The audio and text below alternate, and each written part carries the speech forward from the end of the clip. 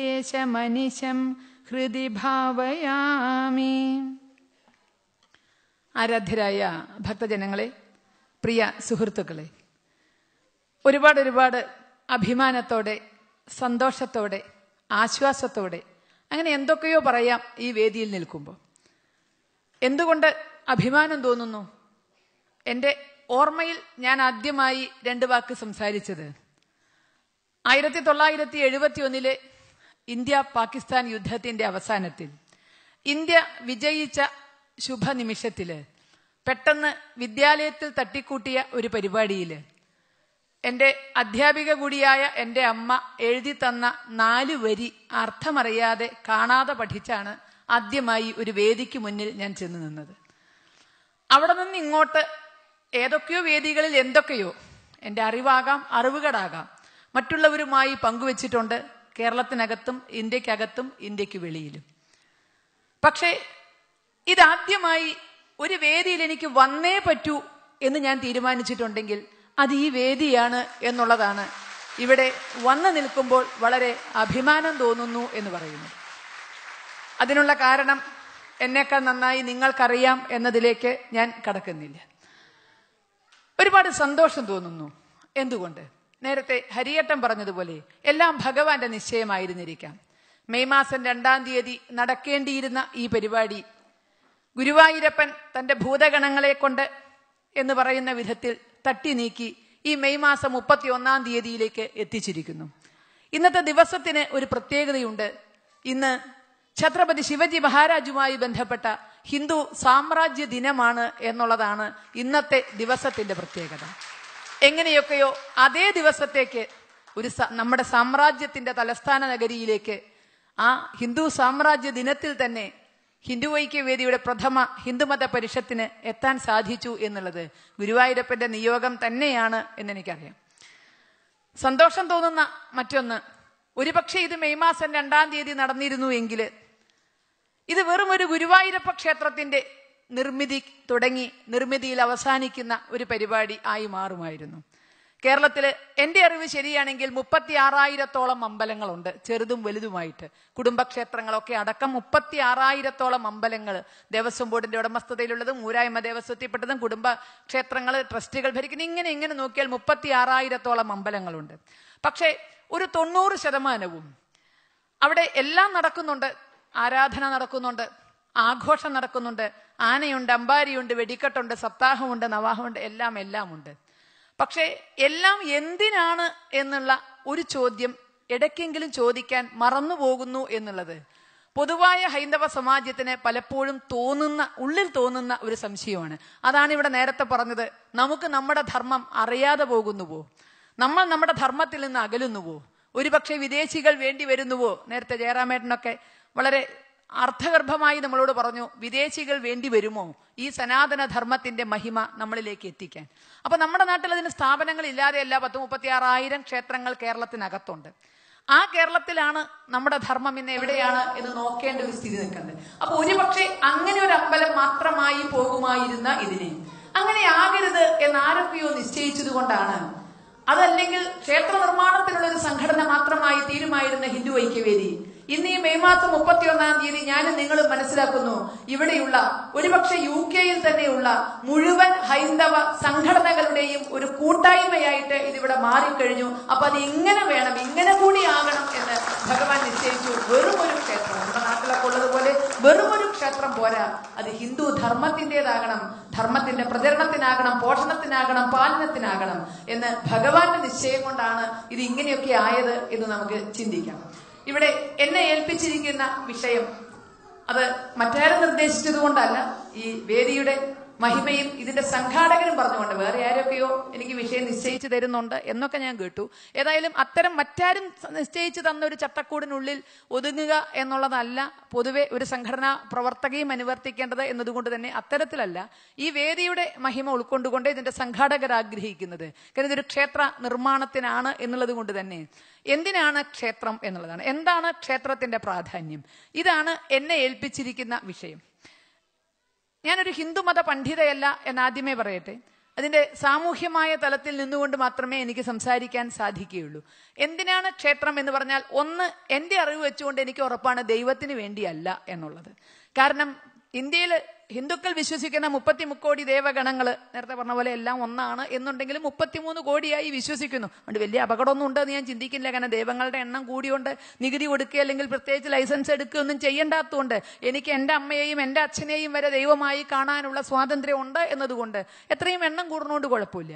അപ്പോൾ അവരെല്ലാം അവിടെ മാത്രം പോരാ ഞങ്ങൾക്ക് വിസ കിട്ടിയിട്ട് എവിടെയൊക്കെ ഹിന്ദുക്കൾ പോകുന്നുണ്ടോ അല്ലെങ്കിൽ എവിടെയൊക്കെ ഭാരതീയർ പോകുന്നുണ്ടോ അവിടെയും കൂടിയൊക്കെ ഞങ്ങൾക്കൊരു ആലയം കിട്ടിയാൽ കൊള്ളാം എന്ന് ഒരു ദൈവവും ആഗ്രഹിക്കുന്നുണ്ടാവില്ല. കാരണം അത് കേരളത്തിനകത്താണെങ്കിലും പുറത്താണെങ്കിലും ലോകത്തെവിടെയാണെങ്കിലും ദൈവങ്ങൾ അരക്ഷിതരല്ല. ദൈവങ്ങൾ അനാഥരല്ല. നമ്മൾ സംരക്ഷിച്ചാൽ മാത്രമേ സംരക്ഷിക്കപ്പെടൂ എന്നൊരു ഭാവത്തിലല്ല ഈശ്വരനുള്ളത്. നമ്മൾ ക്ഷേത്രങ്ങൾ നിർമ്മിക്കുന്നത് ഈശ്വരനെ എവിടെയെങ്കിലും ഒക്കെ ഒന്ന് ഇരുത്തിക്കളയാം എന്ന് വിചാരിച്ചാൽ അങ്ങനെ ഇരുത്തിയായിരിക്കുന്ന ശക്തിയല്ലല്ലോ ഭഗവാൻ. അതുകൊണ്ട് എങ്ങനെ എവിടെയെങ്കിലും ഒന്ന് ഇരുത്തിക്കളയാം എന്ന് വിചാരിച്ചിട്ടല്ല. പാലാഴിയിൽ പള്ളി കൊള്ളുന്ന സാക്ഷാൽ ശ്രീ മഹാവിഷ്ണുവിന് ഇരിക്കാനും കിടക്കാനും സ്ഥലമില്ലാത്തോണ്ടല്ല നമ്മൾ വിഷ്ണു ക്ഷേത്രം ഉദ്ദേശിക്കുന്നത്. കൈലാസാധിപൻ പരമശിവനും അതുപോലെ തന്നെ സ്ഥലമില്ലാത്തോണ്ടല്ല ശിവക്ഷേത്രം. എന്തെങ്കിലും കൊടുത്തറയെന്നും വിചാരിച്ചിട്ടില്ല. പാവം നമ്മൾ കിടക്കണം നേദ്യം കൊണ്ടെങ്കിലും പട്ടിണി മാറിക്കോട്ടെ. നമ്മൾ കാണിക്കണ വെളിച്ചം കൊണ്ട് എങ്കിലും എന്നല്ല. നമുക്കെല്ലാം തരുന്ന ഈശ്വരന് ഇതെല്ലാം തിരിച്ച് നമ്മൾ അല്ലെങ്കിൽ നമ്മളാണ് കൊടുക്കുന്നത് എന്ന ഭാവത്തിലല്ല. അപ്പൊ ഒരു ക്ഷേത്രവും ലോകത്തിലുള്ള ഒരു ക്ഷേത്രവും കെട്ടുന്നതോ കെട്ടാൻ പോകുന്നതോ ആയ ഒരു ക്ഷേത്രവും ഭഗവാന് വേണ്ടിയല്ല ഭക്തന് വേണ്ടിയാണ്. എപ്പോൾ ഭക്തന് വേണമെന്ന് തോന്നുന്നുവോ അപ്പോൾ മാത്രമേ ക്ഷേത്രത്തിന്റെ ചിന്ത വരികയും നടപ്പിലാക്കാൻ സാധിക്കുകയും ചെയ്യുള്ളൂ. എപ്പ വേണ്ടാന്ന് തോന്നുന്നു ഭഗവാനും വേണ്ട. നമുക്കറിയാലോ നമ്മുടെ എത്ര ക്ഷേത്രങ്ങൾ തളർന്നുപോയി തകർന്നുപോയി. അതിന്റെ ചരിത്രം നീണ്ട ചരിത്രം കാഴ്ച നമ്മുടെയൊക്കെ മുന്നിലുണ്ട്. എന്റെയും നിങ്ങളുടെയും കുട്ടിക്കാലത്ത് കല്ലുമ്മ കല്ലില്ലാത്ത ക്ഷേത്രം ഞാൻ മലബാറുന്ന വരണം അതുകൊണ്ട്. കല്ലുമ്മ കല്ലവശേഷിക്കാതെ തകർന്നു പോയ ക്ഷേത്രങ്ങൾക്ക് മുന്നിൽ നിന്ന് നെടിവീർപ്പോടുകൂടി എന്തിനെയാണ് തൊഴുന്നത് എന്നറിയാതെ രണ്ട് കൈയും കൂട്ടിപ്പിടിച്ചാണ് നമ്മളൊക്കെ ഭക്തിയുടെ ബാലപാഠങ്ങൾ ചവിട്ടിക്കയറിയത്. എപ്പോൾ ഭക്തന് വേണ്ട എന്ന് തോന്നുന്നുവോ? അപ്പോ. ക്ഷേത്രം ഭഗവാനും വേണ്ട. അപ്പോൾ ക്ഷേത്രം നമുക്ക് വേണ്ടിയാണ് ഭഗവാന് വേണ്ടിയല്ല എന്നുള്ളതാണ് ഏറ്റവും ആദ്യത്തെ ചിന്ത. ഭഗവാന് വേണ്ടിയാണെങ്കിൽ ഈ സാഹസമൊന്നും എടുക്കണ്ട. ഏത് ഭഗവാനും ലണ്ടനിൽ ഇവിടെ ഒരു ക്ഷേത്രം വേണം എന്ന് ഗുരുവായൂരപ്പൻ തീരുമാനിച്ചാൽ അതിനിവിടുത്തെ ഹിന്ദു ഐക്യവേദി വേണ്ട നമ്മളാരും വേണ്ട. അല്ലെ? ഭഗവാൻ അങ്ങോട്ട് ഓം ക്രീം എന്ന് പറഞ്ഞിട്ട് വലത്തെ കൈ ഒന്ന് ഇങ്ങനെ അങ്ങോട്ട് ആക്കിയാൽ ശ്രീരംഗം ക്ഷേത്രം പോലൊരു ക്ഷേത്രം ഇവിടെ പടുത്തുയർത്താനൊക്കെ സാധ്യതയുള്ള ശക്തിയാണ് ശ്രീ ഗുരുവായൂരപ്പൻ എന്ന് നമുക്കറിയാം. പക്ഷേ ലോകത്തൊരിടത്തും അങ്ങനെ ഒരു അമ്പലം ഉയർന്നിട്ടില്ല. സ്വയംഭൂവായ ധാരാളം വിഗ്രഹങ്ങളുണ്ട്. പക്ഷെ സ്വയംഭുവായ ഒരു ക്ഷേത്രവും എന്റെ അറിവിൽ ഇതുവരെ ഉണ്ടായിട്ടില്ല. അമ്പലം വേണോ? ഭക്തൻ തീരുമാനിക്കണം. ഭക്തൻ നടക്കണം എരക്കണം തുരക്കണം കല്ല് ചുമക്കണം എല്ലാം ചെയ്യേണ്ടി വരും. അങ്ങനെ മാത്രമേ ക്ഷേത്രം ആവുകയുള്ളൂ. അപ്പൊ ഭക്തന് വേണ്ടിയുള്ളതാണ് ക്ഷേത്രം. ഇതാണ് ഈ ക്ഷേത്രത്തിന്റെ നിർമ്മാണത്തിലേക്ക് കാലെടുത്ത് വെക്കുമ്പോൾ നമ്മുടെ മനസ്സിൽ ആദ്യം വേണ്ടത്. ഇനി ഇത് തുടക്കമാണ്. ഇത് ആരംഭശൂരത്വം കൊണ്ട് നിൽക്കുമോ? ഇത് വിജയിക്കുമോ? ഇത്തരം സംശയങ്ങളൊക്കെ നമ്മുടെ ഭാഗത്ത് നിന്ന് വരാം. ഏതായാലും സാമ്പത്തിക സമാഹരണം ശരിക്കും ഐശ്വര്യമുള്ള കൈകൊണ്ട് തുടങ്ങി വെച്ചു. അതിന്റെ മുന്നോടി പോന്നപ്പോൾ സാമ്പത്തികമായ കാര്യം ഭംഗിയായി എന്ന് പറയും. പക്ഷേ സമ്പത്തിനപ്പുറം എനിക്ക് പറയാൻ സാധിക്കും. ഞാൻ കഴിഞ്ഞ ഒരാഴ്ചയായി ഇവിടെയുണ്ട്. ഈ ഒരാഴ്ചയും ഇവിടെ മുതലല്ല. ഇങ്ങ ഇങ്ങനൊരു പരിപാടിക്ക് എന്നെ വന്ന് ക്ഷണിച്ച ആദ്യ നാൾ മുതൽ എനിക്കറിയാം ഈ പരിപാടി വിജയിക്കും എന്നുള്ളത്. എന്നെ വിളിച്ചു എന്നുള്ളതുകൊണ്ടല്ല കേട്ടോ. എന്നെ വിളിച്ചുകൊണ്ടായിരിക്കാം നിങ്ങൾക്ക് ചിലപ്പോൾ ഇടയിൽ ചില വിഘ്നങ്ങളൊക്കെ വന്നത് എന്ന് എന്നേക്കാൾ നന്നായിട്ട് നിങ്ങൾക്കറിയാം. അപ്പോൾ എന്നെ വിളിച്ചു എന്നുള്ളതല്ല ഞാൻ ഇതിൽ ഏറ്റവും വലിയ മഹിമയായിട്ട് കാണുന്നത്. ഇവിടെ ഹിന്ദു ഐക്യവേദിക്ക് പിന്നിൽ പ്രവർത്തിക്കുന്നവർ അവർ നേതാക്കളല്ല എന്നുള്ളതാണ് ഞാൻ മനസ്സിലാക്കിയ ഒന്നാമത്തെ സത്യം. ഈ ഒരാഴ്ച കാലവും അല്ലെങ്കിൽ ഇതിന് വിളിച്ച നാൾ മുതലും. ഈ ഒരാഴ്ചയെ ഞാൻ കണ്ടുകൊണ്ടിരിക്കുന്നു ആരും ആജ്ഞാപിക്കുന്നവരല്ല. നമുക്ക് മുന്നിൽ കാണുന്ന ഈ അമ്പലം അപ്പൊ ഇവിടെ ശരിക്കും പറഞ്ഞാൽ ഹിന്ദു ഐക്യവേദിയിൽ സ്ഥപതികളുണ്ട് ശില്പികളുണ്ട് തന്ത്രികളുണ്ട്. എല്ലാം അവർ തന്നെയാണ് നമുക്ക് ചിന്തിക്കാൻ കഴിയുമോ ഒന്നും കൂടെ നിൽക്കല്ല. അമ്പലം ഉണ്ടാക്കിയത് ഹിന്ദു ഐക്യവേദിയുടെ ഭാരവാഹികളാണ്. നോട്ടീസ് തയ്യാറാക്കുന്ന ഹിന്ദു ഐക്യവേദിയുടെ ഭാരവാഹികളാണ്. കഴിഞ്ഞില്ല. നോട്ടീസ് വീട് വീടാന്തരം കൊണ്ടുപോയി ഇടുന്നത് ന്യൂസ് പേപ്പർ ബോയെ പോലെ ന്യൂസ് ഇത് വീട് വീടാന്തരം കൊണ്ടുപോയിരുന്നത് ഹിന്ദു ഐക്യവേദിയുടെ തലപ്പത്തിരിക്കുന്നവരാ. കസേര പിടിച്ചിരുന്നത് അവരാ. ചുരുക്കി പറഞ്ഞാൽ അരങ്ങിലും അണിയറിൽ ഒരുപക്ഷെ ഇന്ന് വീട്ടിലിരിക്കുന്ന ഭാര്യമാരുടെയൊക്കെ നിർബന്ധം കൊണ്ടായിരിക്കാം പലരും വൈറ്റ് ആൻഡ് വൈറ്റ് ഒക്കെ ഇട്ട് അല്ലെ? ഞങ്ങളൊക്കെയാണെന്ന് തോന്നിക്കോട്ടെ എന്ന ഭാവത്തിൽ ചിലപ്പോൾ വന്നിട്ടുണ്ടാകുക. കാരണം അതല്ലെങ്കിൽ അണിയറയിൽ പ്രവർത്തിക്കാൻ മാത്രം ഇഷ്ടമുള്ള ഒരു പിടി ആളുകൾ. തീർച്ചയായും അത് ഇതിന്റെ ഏറ്റവും വലിയ സമ്പത്താണ് എന്നെനിക്ക് തോന്നുന്നു. അതുപോലെ തന്നെ ശിവന് എങ്ങനെയാണോ ശക്തി കൂടെ വേണ്ടത്? ശിവന് ശക്തി ഇല്ലെങ്കിൽ ശിവൻ പോലും ശവമാണ് ഇകാരമാണ് സ്ത്രീലിംഗത്തെ സൂചിപ്പിക്കുന്നത്. ആ ഇകാരം ഇങ്ങോട്ട് എടുത്തു മാറ്റിയാൽ ശിവം ശവമാണ്. അപ്പോൾ ശക്തി പകർന്നു കൊടുത്തുകൊണ്ട് ഇടത്തരികത്ത് പാർവതീദേവി ഇല്ലെങ്കിൽ ഒരു ശിവനും പ്രവർത്തിക്കാൻ സാധിക്കില്ല.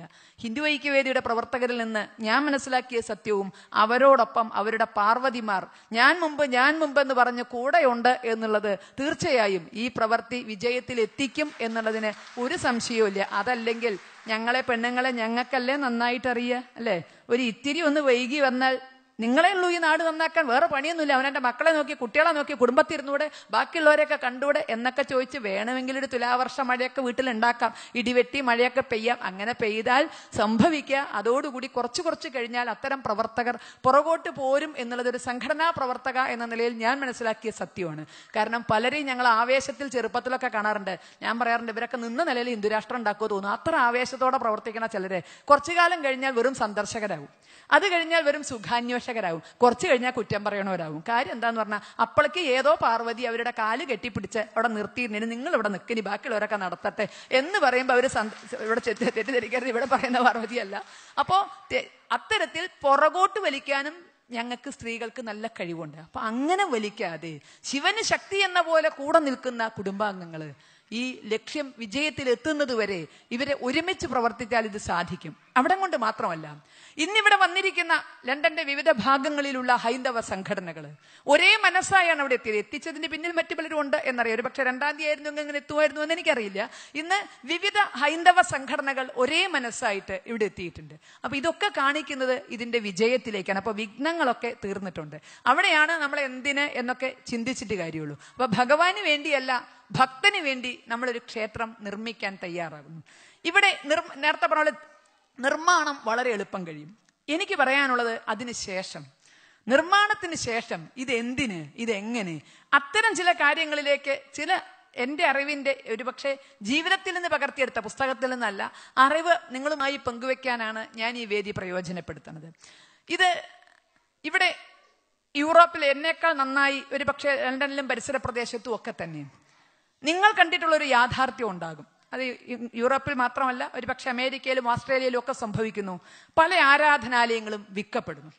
വളരെ താല്പര്യത്തോടു കൂടി നിങ്ങൾ ഒരു ആരാധനാലയത്തിന്റെ തറക്കല്ലിടുമ്പോൾ ഒരു ആരാധനാലയത്തിന്റെ ചിന്ത നിങ്ങളുടെ മനസ്സിൽ വരുമ്പോൾ നാളെ എന്നൊന്ന് മനസ്സിൽ കാണണം. ഉണ്ടാക്കാൻ വളരെ എളുപ്പ. അങ്ങനെ ഉണ്ടാക്കിയ ആരാധനാലയങ്ങളാണ് ഇന്ന് ഫോർ സെയിൽ ബോർഡ് വെച്ച് പലയിടത്തും ഇരിക്കുന്നത്. എന്തുകൊണ്ട്? അടുത്ത തലമുറ. അല്ലെങ്കിൽ അവരിലേക്ക് ഇത് എന്തിന് എന്ന് എത്തിക്കാൻ സാധിക്കാത്തതിന്റെ ബാക്കി. നമുക്ക് കേരളത്തിലും അറിയാം ഒരു കാലത്ത് നമ്മുടെ ക്ഷേത്രങ്ങളൊക്കെ തളർന്ന് കിടന്നിരുന്നതിനും ഒരു പരിധിവരെ കാരണം അതാണ്. അപ്പോ ഇവിടെ മനസ്സിൽ ക്ഷേത്രം ഉയരുമ്പോൾ തൽക്കാലം നമ്മളത് കാർഡ്ബോർഡ് കൊണ്ടല്ല നിർമ്മിക്കുക.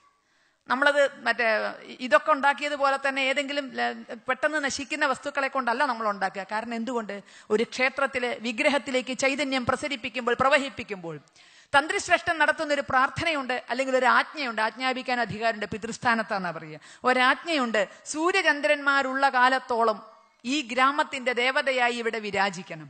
സൂര്യചന്ദ്രന്മാരുള്ള കാലത്തോളം ലോകാവസാനത്തോളം. അതുകൊണ്ട് ആ ക്ഷേത്രങ്ങൾ ഉറപ്പിൽ കെട്ടണത്. അപ്പൊ നമ്മുടെ ക്ഷേത്രവും എന്നുവരെ നിൽക്കണം ലോകാവസാനത്തോളം. തിരിച്ചടികളൊന്നും നേരിടാതെ. നമുക്ക് തന്നെ വേണ്ട എന്ന് തോന്നുന്ന ഒരവസ്ഥ വരാതെ. ലോകാവസാനം വരെ ഇതിനെ നിർത്താൻ സാധിക്കുമോ? അതതിന്റെ തുടക്കത്തിൽ. നമ്മളൊരു വിത്ത് എങ്ങനെ മുള പൊട്ടുന്നു അപ്പോൾ അറിയാം അതിന്റെ കരുത്ത് എങ്ങനെയാണ് വളർച്ച എങ്ങനെയാണ് എന്നുള്ളത്. അപ്പോൾ ഇവിടെ വിത്ത് നമ്മൾ നനവെച്ചിരിക്കുകയാണ് കുഴിച്ചിട്ടിട്ട് പോലില്ല നനവെച്ച് മുള വന്നിട്ട് വേണം നമുക്ക് കുഴിച്ചിടാൻ. അപ്പൊ ഇവിടെ തീരുമാനിക്കണം എത്ര കാലത്തേക്ക് വേണ്ടിയാണ്. എത്ര കാലത്തേക്ക് എന്ന് പറയുമ്പോൾ കെട്ടിടത്തിന്റെ ഉറപ്പിൽ മാത്രം ചിന്തിച്ചാൽ പോരാ.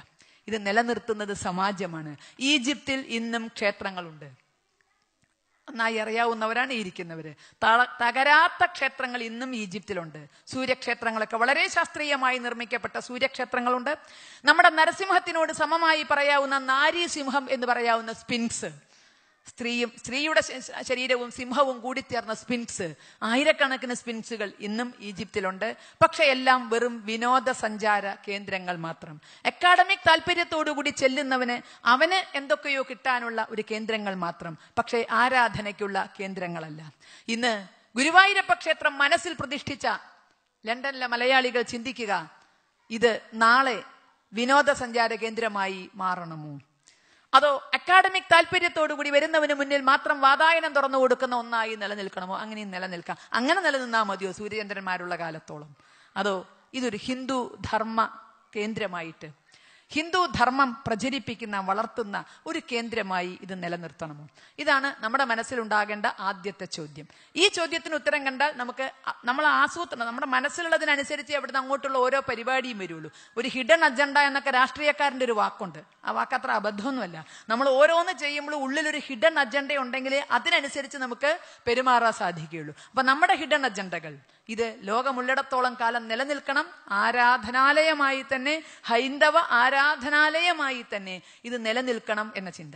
അപ്പൊ തീർച്ചയായും ചോദ്യം ഉണ്ടാകും ഇംഗ്ലണ്ട് പോലൊരു സ്ഥലത്ത്. കരുത് മിഡീവൽ യൂറോപ്പ് അല്ലെന്ന്. നമുക്കറിയാം. ഇവിടെ എല്ലാ മതങ്ങൾക്കും തുല്യ പരിഗണന നൽകുന്ന എല്ലാ നാഗരികതകൾക്കും തുല്യ പ്രാധാന്യം നൽകുന്ന ഒരു മണ്ണാണിത്. ഇന്നലെകൾ നമുക്ക് എന്തോ അതിനെ ഇന്ന് നമുക്ക് അന്വേഷിക്കേണ്ട. ഇന്ന് എല്ലാവർക്കും തുല്യ പ്രാധാന്യവും തുല്യ അംഗീകാരവും തുല്യ ബഹുമാനവും കൊടുക്കുന്ന ഈ മണ്ണിൽ നമ്മൾ വന്നിട്ട് ഈ വിഭാഗീയത വളർത്തിയാൽ അത് മോശമല്ലേ? ഹിന്ദുവിന്റെ അമ്പലമാകണം ഹിന്ദുത്വം പ്രചരിപ്പിക്കാനാകണം ഹിന്ദുത്വം വളർത്താനാകണം എന്നൊക്കെ പറയുമ്പോൾ അത് തീർച്ചയായും പ്രഖ്യാപി ഈ നാടിന്റെ ഒരു ഇന്നത്തെ ഒരു രീതിക്ക് വിരുദ്ധമാകില്ലേ? തീർച്ചയായും നമ്മൾ ഒരിക്കലും ഇവിടെ വരുന്നത് വിഭാഗീയമായ ചിന്താഗതി കൊണ്ടല്ല ഇവിടെ എന്നല്ല എവിടെയും. ഭാവിയിൽ ഹിന്ദുവിന് വേണ്ടി യു കെയുടെ ഒരു കഷ്ണം മുറിച്ചു വാങ്ങാൻ വേണ്ടിയല്ല നമ്മൾ ഇന്നിവിടെ ഹിന്ദുവായി അല്ലെങ്കിൽ ഹിന്ദുവിന്റെ സ്ഥാപനത്തിന് തറക്കല്ലിടുന്നത്. കാരണം അത്തരത്തിൽ മുറിച്ചു വാങ്ങിയാൽ അതിന്റെ വേദന എന്താണെന്ന് ഏറ്റവും നന്നായി മനസ്സിലാക്കിയവർ ലോകത്ത് ഭാരതീയരാണ്. ഭാരതീയരെ പോലെ മറ്റാരും മനസ്സിലാക്കിയിട്ടില്ല. ഏതെങ്കിലും ഒരു മതവിഭാഗം വളരുകയും അതിന്റെ പേരിൽ ഞങ്ങൾക്ക് രാജ്യത്തിന്റെ ഒരു ഭാഗം വേണം എന്ന് പറഞ്ഞാൽ ഭാരതാംബയുടെ കരചരണങ്ങൾ അറുത്തുമാറ്റിയത് അതിന്റെ ആ രക്തപ്പുഴയിൽ ആയിരങ്ങളുടെ ശവം ഒഴുകി നടന്നത് നമ്മൾ മറന്നിട്ടില്ല. അതുകൊണ്ട് തന്നെ ഒരിക്കലും അത്തരം ഒരു രൂപത്തിലേക്ക് വളരരുത് എന്ന് അനുഭവത്തിൽ നിന്ന് പഠിച്ചു എന്നതുകൊണ്ടല്ല നമ്മുടെ പാരമ്പര്യവും ആ രൂപത്തിലുള്ളതാണ്. പാഴ്സികൾ ഇന്ത്യയിൽ അഭയം തേടിയ സമയത്ത് നമുക്കറിയാം നമ്മൾ മനസ്സിലാക്കുന്ന ഒരു ചരിത്ര സത്യമുണ്ട്. പേർഷ്യയിൽ ഏകദൈവ ആരാധന നിലവിൽ വന്നപ്പോൾ അവർ പറയുന്ന ആരാധനാ രീതിക്ക് അപ്പുറം അഗ്നിയെ ആരാധിക്കാനോ അവരുടെ ആചാരങ്ങൾ നിലനിർത്താനോ സാധിക്കാതെ വന്നപ്പോൾ പേർഷ്യയിൽ നിന്ന് ഭാരതത്തിലേക്ക് ഓടി എത്തിയവരാണ് പാഴ്സികൾ നമുക്കറിയാം ജരദുഷ്ട അല്ലെങ്കിൽ മറ്റേ ആ ജരദുഷ്ട മതത്തിന്റെ അവകാശികൾ. അവർ ഭാരതത്തിൽ വന്നതുമായി ബന്ധപ്പെട്ട് നമുക്കറിയാവുന്ന ഒരു ചരിത്ര സത്യമുണ്ട്. അവർക്ക് അഭയം കൊടുക്കുമ്പോൾ ഭരണാധികാരികൾ സംശയിച്ചു നിങ്ങൾ എത്തരത്തിലുള്ള ആളുകളായിരിക്കാം. ഈ സംശയത്തിന് അവർ കൊടുത്തൊരു ഉത്തരവുണ്ട് അത് വാക്കുകളെ കൊണ്ടായിരുന്നില്ല. ഒരു ഗ്ലാസ് പാൽ കൊണ്ടുവരാൻ പറഞ്ഞു അത്രേ. ഒരു ലേശം പഞ്ചസാരയും കൊണ്ടുവരാൻ പറഞ്ഞു. ആ പഞ്ചസാര ആ പാലിലിട്ട് ആ സംഘത്തിന്റെ നേതാവ് ഇളക്കി. ഇതുപോലെ ആയിരിക്കും ഞങ്ങൾ ഇവിടെ എന്ന് പറഞ്ഞു. ഈ സമാജത്തിൽ ഞങ്ങൾ ഇഴുകിച്ചേരും കൂടുതൽ മധുരം നൽകിക്കൊണ്ട്. ഒരിക്കലും വേറിട്ട് നിന്നുകൊണ്ടല്ല പാലിന് പഞ്ചസാര ചേർക്കുമ്പോൾ കൂടുതൽ മധുരം തരുന്നത് പോലെ ഞങ്ങൾ ഈ നാടിനെ കൂടുതൽ പോഷിപ്പിക്കുകയുള്ളൂ. അന്ന് തൊട്ട് ഇന്ന് വരെ പാഴ്സികൾ ഭാരതത്തിലുണ്ട്. ഇന്ന് വരെ വിഘടനവാദം മുഴക്കിയിട്ടില്ല. ഞങ്ങൾ അരക്ഷിതരാണ് എന്ന ആക്ഷേപം പറഞ്ഞിട്ടില്ല. അര ശതമാനത്തിൽ താഴെയുള്ള പാഴ്സികൾ ഭാരതത്തിന്റെ മുഖ്യധാരയിൽ സജീവമാണെന്ന്. എവിടെയും എന്തും. ജനറൽ മനേക്ഷയെ പോലെ ഭാരതത്തിന്റെ അന്തസ് ഉയർത്തിപ്പിടിച്ച മേധാവികൾ അങ്ങനെ എവിടെയും എവിടെയും സ്വന്തം വ്യക്തിമുദ്ര പതിപ്പിച്ചുകൊണ്ട് അന്ന് ഭാരതത്തിലേക്ക് കടന്നു വന്ന ആ നേതാവ് എങ്ങനെയാണോ ഞങ്ങൾ ഭാരതമാകുന്ന പാലിൽ അലിഞ്ഞു ചേരുന്ന പഞ്ചസാരയാകും എന്ന് പറഞ്ഞത്. അതുപോലെ ഒരു സംശയവും വേണ്ട. ഈ യു കെയിൽ എന്നല്ല ലോകത്തെവിടെയും ചെല്ലുന്ന നമ്മൾ ഓരോരുത്തരും ഇവിടുത്തെ പാലിന് ഇഴുകിച്ചേർന്ന് പഞ്ചസാര കൊണ്ട് മധുരം കൊടുക്കുന്നവരായിരിക്കും ആയിരിക്കണം എന്ന് നമുക്ക് നിർബന്ധമുണ്ട്. അതുകൊണ്ട് തന്നെ വിഭാഗീയതകൾക്ക് വേണ്ടിയല്ല നമ്മൾ ഇത്തരം കാരണം അങ്ങനെ ഒരു രീതി ഭാരതത്തിന് ഇല്ല എന്നുള്ളത് കൊണ്ട് ഹിന്ദുത്വത്തിന് തീരെയില്ല എന്നതുകൊണ്ട് ഈ നാടിനെ നമ്മളെ എങ്ങനെയൊക്കെ സഹായിക്കാൻ പറ്റുമോ? മാതൃഭൂമി അവരമ്മ മാതൃഭൂമി പോലെ തന്നെ ഇന്നിത് നമ്മുടെ കർമ്മഭൂമിയാണ്. ആ മാതൃഭൂമിയെ എങ്ങനെയാണോ സ്നേഹിക്കേണ്ടത്? അതുപോലെ കർമ്മഭൂമിയെയും സ്നേഹിക്കാൻ നമ്മളെ ആരും പഠിപ്പിച്ചു തരണ്ട. അത് സ്നേഹിച്ചുകൊണ്ട് തന്നെയായിരിക്കും നമ്മൾ നമ്മുടെ വ്യക്തിത്വം നിലനിർത്തി കൊണ്ടുപോകുന്നത്. അങ്ങനെയെങ്കിൽ ഇവിടുത്തെ വ്യക്തിത്വത്തിൽ അലിഞ്ഞു ചേർന്നാൽ പോരെ. നമുക്കറിയാം ഈ നാടിന് ഒരുപാട് മഹിമകളുണ്ട്. യൂറോപ്പിൽ നിന്ന് പഠിക്കേണ്ട പലതുമുണ്ട്. ഒരുപക്ഷെ അവരുടെ ജനാധിപത്യ ബോധം പല മര്യാദകൾ ഇങ്ങനെ പലതും ഇന്ന് ഞാൻ വീണ്ടും പറയുന്നു മിഡീവൽ യൂറോപ്പിനെയല്ല മറ്റേ റിഫോർമേഷൻ പീരീഡിലുള്ള യൂറോപ്പിനെ അല്ല പറയുന്നത്. ഇന്നത്തെ യൂറോപ്പിൽ നിന്ന് നമുക്ക് പഠിക്കേണ്ട പല പാഠങ്ങളും ഉണ്ട് എന്നത് സത്യമാണ്. പക്ഷേ യൂറോപ്പിന് ഇല്ലാത്ത ചിലത് നമ്മുടെ കയ്യിലുമുണ്ട്. അങ്ങോട്ടും ഇങ്ങോട്ടും കൊടുക്കേണ്ട ഒരു കാര്യമുണ്ട്. കാരണം ഭാരതം ഭാരതമായി സഹസ്രാബ്ദങ്ങൾ നിലനിന്നത് ഇപ്പോഴും നിലനിന്ന് പോരുന്നത് ഭാരതത്തിലെ പട്ടാളത്തിന്റെ മഹിമ കൊണ്ടല്ല. ഭരണാധികാരികളുടെ ബുദ്ധിവൈഭവം കൊണ്ടല്ല. മറിച്ച് അവിടെയുള്ള കുടുംബങ്ങളുടെ ആ കുടുംബ ബന്ധങ്ങളുടെ ദൃഢത കൊണ്ടാണ്. കുടുംബം എന്ന ആ ഏറ്റവും വലിയ മൂല്യങ്ങൾ ഒരു തലമുറയിൽ നിന്ന് അടുത്ത തലമുറയിലേക്ക് മൂല്യങ്ങൾ കൈമാറുന്ന ആ കുടുംബം എന്ന അടിസ്ഥാന യൂണിറ്റ് അതിന്റെ ശക്തിയിലാണ് പതിനായിരക്കണക്കിന് വർഷം ഭാരതം നിലനിന്നത്. നമുക്ക് ലോകത്തിന് കൊടുക്കാനുള്ള ഏറ്റവും വലിയ സംഭാവനയും തീർച്ചയായും അതാണ്. ഒരുപക്ഷെ നമുക്കറിയാം ശാസ്ത്രത്തിന്റെ ഏടുകളിലേക്ക് നോക്കിയാൽ ന്യൂട്ടന്റെ തലയിൽ ആപ്പിൾ വീഴുന്നതിന് മുമ്പ് തന്നെ ഗുരുത്വാകർഷണം കണ്ടുപിടിച്ച ഭാരതീയരുണ്ടായിരിക്കാം. പൈത്തഗോറസിന് മുമ്പ് തന്നെ നമ്മുടെ ആശാരികൾ കൃത്യമായി കഴുക്കോൽ അതേ തത്വമൊക്കെ വെച്ചുകൊണ്ട് തന്നെ ലപാദം സ്ക്വയർ പ്ലസ് ലംബം സ്ക്വയർ എന്നൊക്കെ പറഞ്ഞാൽ അങ്ങനെ തന്നെയാണല്ലോ കഴു കെട്ടിടങ്ങളുടെ കഴുക്കോലുകൾ ഉണ്ടാക്കുന്നത് അങ്ങനെ ഉണ്ടാക്കിയിരുന്ന ആശാരിമാർ ഒരു പക്ഷേ പൈതഗോറസിന് മുമ്പ് നമ്മുടെ നാട്ടിൽ ഉണ്ടായിരിക്കാം. ഇതൊക്കെ സത്യമാണ്. പക്ഷേ അതുപോലെ തന്നെ പലരും പറയുന്ന പോലെ വിമാനശാസ്ത്രം നമ്മൾ ഇതെല്ലാം ഉണ്ട്. പക്ഷേ ഇന്ന് ലോകത്തിനൊരു പക്ഷേ നമ്മുടെ ശാസ്ത്രം ആവശ്യമാണ് എന്ന് വരില്ല. അതിനപ്പുറം ശാസ്ത്രം നമ്മളായിരുന്നു തുടക്കം കുറിച്ച് മുന്നോട്ട് പോയി അതിനെ അതിജീവിച്ചുകൊണ്ട് മുന്നോട്ട് പോയി. നമ്മുടെ ബുദ്ധി എല്ലാ രംഗങ്ങളിലും കാണുന്നു. പക്ഷെ ഇതില്ലെങ്കിലും ലോകം മുന്നോട്ട് പോകും. നമ്മുടെ വ്യാവസായികമായ മികവില്ലെങ്കിലും ലോകം മുന്നോട്ട് പോകും. ഇതിലൊക്കെ നമ്മളുണ്ടെങ്കിലും. പക്ഷെ നമുക്ക് മാത്രം കൊടുക്കാൻ കഴിയുന്നത് നമ്മളിൽ നിന്ന് മാത്രം ലോകം ആഗ്രഹിക്കുന്നത് അത് കുടുംബ സംവിധാനങ്ങളാണ്. അതിന്റെ അകത്തുള്ള മൂല്യങ്ങളാണ്. അതാണ് നമ്മളെ ഇതുവരെ നിലനിർത്തി കൊണ്ടുപോകുന്നത്. അപ്പോൾ അത്തരത്തിൽ ആ കുടുംബ ബന്ധങ്ങളുടെ ഊഷ്മളതയും ആ ഒരു സാംസ്കാരികമായ അടിത്തറയും നിലനിർത്തിക്കൊണ്ടാണ് ഇവിടുത്തെ ഹിന്ദുക്കൾക്ക് ഞങ്ങൾ ഹിന്ദുക്കളാണ് എന്ന വ്യക്തിത്വം എന്ന സ്വത്വം വളർത്തിയെടുക്കാനുള്ളത് അത് മറ്റുള്ളവരിലേക്ക് സംക്രമിപ്പിക്കാനുള്ളത്. ഇത് ആർക്കും എതിരെയല്ല. എങ്ങനെയൊക്കെയോ വിധിവശയാൽ ഒരു ക്ഷേത്രം എന്നതിനപ്പുറത്തേക്ക് കൂടി ഇത് നീണ്ടു ഹിന്ദു ഐക്യം എന്നതിലേക്ക്. വളരെ വളരെ സന്തോഷമുണ്ട്. കേരളത്തിലെ ഹിന്ദു ഐക്യവേദിയുടെ പ്രതിനിധിയായി ഇവിടെ വന്നു നിൽക്കുമ്പോൾ എനിക്ക് ഞാൻ കേരളത്തിലൊരു ഹിന്ദു ഐക്യവേദിയുടെ വേദിയിൽ തന്നെയാണ് എന്ന് തോന്നുന്നു. മറ്റൊരു മാറ്റവുമില്ല കേരളത്തിൽ ഹിന്ദു ഐക്യവേദി ക്ഷേത്രം ഉണ്ടാക്കാനുള്ളതല്ല. ക്ഷേത്രം ഉണ്ടാക്കുക എന്ന ലക്ഷ്യം കേരളത്തിലെ ഹിന്ദു ഐക്യവേദിക്കില്ല. കാരണം അതിനവിടെ മറ്റ് കേരളത്തിലെ എല്ലാ ജനങ്ങളും അതിന്റെ പിന്നാലെയാണ്. അതുകൊണ്ട് ആ ലക്ഷ്യം ഹിന്ദു ഐക്യവേദിക്കില്ല. പക്ഷേ കേരളത്തിലെ ചെറുതും വലുതുമായ സാമുദായിക സംഘടനകളെ ഒരു തരത്തിൽ ഇണക്കി കോർക്കുക ഹിന്ദു ഐക്യവേദിയുടെ ലക്ഷ്യമാണ്.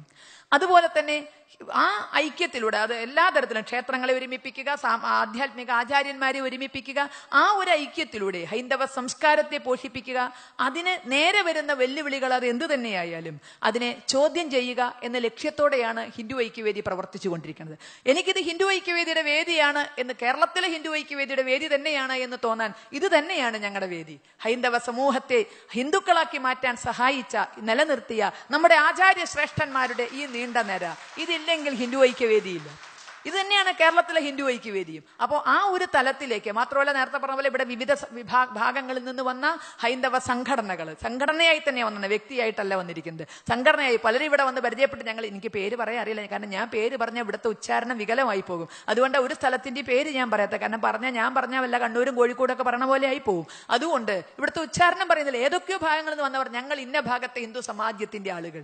അവർ ഒന്നിച്ചാണ് വന്ന് പരിചയപ്പെടുന്നത് ഒന്നിച്ചാണ് വന്ന് ഫോട്ടോ എടുക്കുന്നത്. അപ്പൊ വന്നവർ അവരൊന്നും ഒറ്റയ്ക്കല്ല. ഞാൻ ഇന്നയാളെന്നല്ല പറയുന്നത്. ഞാൻ ഇന്ന സംഘടന. അപ്പൊ സംഘടനയായി ഇവിടെ ഒരുപാട് പേർ ഒരുപാട് ഭാഗങ്ങളിൽ നിന്ന് വന്നിട്ടുണ്ട്. അനിവാര്യമായ ഒരു ഐക്യത്തിലേക്കുള്ള നീക്കം. അതുകൊണ്ടാണ് പറഞ്ഞത് ഹിന്ദു ഐക്യവേദിയുടെ ഒരു വേദിയിൽ തന്നെയാണ് ഞാൻ നിൽക്കുന്നത് എന്നെനിക്ക് അഭിമാനത്തോടെ സന്തോഷത്തോടെ തോന്നുന്നു. ഇങ്ങനെ തന്നെയാണ് ക്ഷേത്ര നിർമ്മാണത്തിലേക്ക് പോകുന്നതെങ്കിൽ പോകും എന്നെനിക്ക് ഉറപ്പ്. അവിടെ ആ ക്ഷേത്രം നേരത്തെ പറഞ്ഞ നമ്മുടെ എല്ലാ ലക്ഷ്യങ്ങളും ഹിന്ദു ധർമ്മത്തിന്റെ പാലനത്തിനും പോഷണത്തിനും ഒക്കെ പറ്റുന്ന ഒരു കേന്ദ്രമായി മാറും മാറണം. ഇത് ഞാൻ വേദനയോടുകൂടി പറയട്ടെ കേരളത്തിലെ അവസ്ഥയിൽ നിന്നാണ് പറയണത്. മാറും മാറണം എന്നൊക്കെ പറയണത്. ഞാൻ നേരത്തെ പറഞ്ഞ മുപ്പത്തി ആറായിരം അമ്പലങ്ങൾ കേരളത്തിലുണ്ട്. പക്ഷേ ഒരനുഭവം ഞാൻ നിങ്ങളുമായിട്ട് പങ്കുവെക്കാം. ഈ കഴിഞ്ഞ ഏപ്രിൽ മാസത്തിൽ എറണാകുളം മേഖലയിൽ ഭാരത് സ്കൗട്ട്സ് ആൻഡ് ഗൈഡ്സിന്റെ ഒരു ക്യാമ്പ് നടന്നു. സ്കൗട്ട് ആൻഡ് ഗൈഡ്സ് എല്ലാവർക്കും അറിയാം വിശദമാക്കി തരണ്ട. വിദ്യാർത്ഥികൾക്കിടയിൽ പ്രവർത്തിക്കുന്ന ഒരു സന്നദ്ധ സംഘടന. ഒരു സമ്മർ ക്യാമ്പ് ഏപ്രിൽ മാസത്തിൽ നടന്നു സ്കൂൾ അടച്ചപ്പോൾ. സ്കൗട്ട് ആൻഡ് ഗൈഡ്സിന്റെ നിയമാവലി അനുസരിച്ച് ഇത്തരം ക്യാമ്പുകളിൽ അവർക്ക് സർവമത പ്രാർത്ഥന നടത്തണം. സർവമത പ്രാർത്ഥന എന്ന് പറഞ്ഞാൽ ഇപ്പോൾ കേരളത്തിലേക്ക് സ്കൂളുകളിൽ ചെല്ലണമാതിരി വാലും തലയില്ലാതെ ഒരു ദൈവത്തിന്റെയും പേര് പറയാതെ കാരണം അങ്ങനെ പറഞ്ഞാൽ മതേതരത്വം പോകുന്നതാണ്. അതുകൊണ്ട് വാലും തലയൊന്നും ഇല്ലാതെ ചില പ്രാർത്ഥനകൾ ഞങ്ങൾ ഇങ്ങനെ സ്കൂളിലേക്ക് വേണ്ടി റെഡിയാക്കാറുണ്ട്. ചെല്ലണോ എന്റെ മനസ്സിലും ഭക്തി ഉണ്ടാവാറില്ല കേൾക്കണോ എന്റെ മനസ്സിലും ഭക്തി ഉണ്ടാവാറില്ല. അതങ്ങനെ ഒരു തലയ്ക്ക് ഇങ്ങനെ പറഞ്ഞു പോകുന്നു മാത്രമേ. അല്ലേ ഭാരതം എന്റെ രാജ്യമാണെന്ന് ഇങ്ങനെ ഒന്നാം ക്ലാസ് മുതൽ പറഞ്ഞു. അതേമാതിരി ഒരു തലക്കിൽ ഇങ്ങനെയാണ് പറഞ്ഞു പോകും ഞങ്ങൾ അങ്ങനെ പാടിപ്പോകുന്ന അതല്ല മതേതര പ്രാർത്ഥന എന്ന് ഇവർ മത മറ്റേ സർവമത പ്രാർത്ഥന എന്നതുകൊണ്ട് ഉദ്ദേശിക്കുന്നത് അതിന് വേണമെങ്കിൽ മതേതര പ്രാർത്ഥന എന്നൊക്കെ പേരിടാം. സർവമത പ്രാർത്ഥന എന്ന് പറയുന്നത് നിശ്ചിത സമയം ഓരോ മതത്തിനും അനുവദിക്കും. പത്ത് മിനിറ്റ് ആണെങ്കിൽ പത്ത് മിനിറ്റ് ഹിന്ദുവിന് പത്ത് മിനിറ്റ് മുസ്ലിമിന് പത്ത് മിനിറ്റ് ക്രിസ്ത്യാനിക്ക് മൂന്ന് കൂട്ടരാണല്ലോ കേരളത്തിലുള്ളത്. അവരവരവരുടെ മറ്റേ ആരാധന നടത്തും അല്ലെങ്കിൽ മറ്റേ പ്രാർത്ഥന നടത്തും. മറ്റുള്ളവർക്കൊന്ന് കാണാനും കേൾക്കാനുള്ള ഒരു അവസരം എന്താണ് ഞാൻ പറഞ്ഞത്? എന്റെത് മാത്രം എന്ന് പിടിച്ചിരിക്കാതെ ഇങ്ങനെയും ചില സംഗതികളൊക്കെ ചുറ്റുമുണ്ട് എന്ന് മനസ്സിലാക്കാൻ ഒരു അവസരം എല്ലാ മതങ്ങളോടും ഒരു ബഹുമാനം വളർത്തിയെടുക്കാൻ അത് ആവശ്യവുമാണ്. അപ്പോൾ അവർ ഈ സർവമത പ്രാർത്ഥനയ്ക്ക് തയ്യാറ് ഇവിടെ വന്ന കുട്ടികളിൽ എൺപത് ശതമാനവും ഹിന്ദുക്കളായിരുന്നു. ഈ ഭാരത് സ്കൗട്ട് ആൻഡ് ഗൈഡ്സിന്റെ ക്യാമ്പിൽ വന്നവർ എൺപത് ശതമാനവും ഹിന്ദുക്കളായിരുന്നു. ഒരു ഇരുപത് ശതമാനം മുസ്ലിങ്ങളും ക്രിസ്ത്യാനികളും കൂടിയുണ്ട്. അപ്പോൾ അവരോട് ചോദിച്ചു ക്രിസ്തു മത പ്രാർത്ഥന ആര് നടത്തും? അവിടെ വന്ന മുഴുവൻ ക്രിസ്ത്യൻ കുട്ടികളും ഞാൻ തയ്യാർ ഞങ്ങൾ തയ്യാർ എന്ന് പറഞ്ഞ് മുന്നോട്ട് വന്നു. ബൈബിൾ വായിച്ചാൽ പോരെ? അതോ എന്താ എന്താ ചെയ്യേണ്ട അവർ റെഡി എന്ത് ചെയ്യണമെങ്കിലും അവർ റെഡി അടുത്ത് ചോദിച്ചു ഇസ്ലാമിക പ്രാർത്ഥന ആര് നടത്തും? ഞാൻ തയ്യാർ ഞങ്ങൾ തയ്യാർ എല്ലാവരും. ഞങ്ങൾ ഒന്നിച്ചാകാം. ഇത്രയല്ലേ ആൾക്കാരുള്ളൂ. ഞങ്ങൾ ഒന്നിച്ചാകാം. ഒരു പ്രശ്നമില്ല ഇനിയാണ് പ്രശ്നം കിടക്കുന്നത്. ഒരു പത്ത് മിനിറ്റ് എങ്ങനെയൊക്കെയോ ഹിന്ദുവിന് അനുവദിച്ച് കിട്ടിയിട്ടുണ്ട്. ഇവർ വിചാരിച്ച് വളരെ എളുപ്പമാണ് കാരണം അവിടെ വന്നാൽ എൺപത് ശതമാനം ഹിന്ദുക്കളാ. ഒരു പത്ത് മിനിറ്റ് ഹിന്ദുവിന്റെ പ്രാർത്ഥന ആര് ചെല്ലും? പറഞ്ഞത് അത്ഭുതമല്ല. അതിശയോക്തിയല്ല. അർദ്ധസത്യം പോലും അല്ല ഒരൊറ്റ കുട്ടി പോലും ദൈവം സഹായിച്ച് മുന്നോട്ട് വന്നില്ല.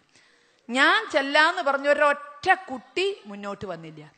മുപ്പത്തിയാറായിരം അമ്പലങ്ങൾ.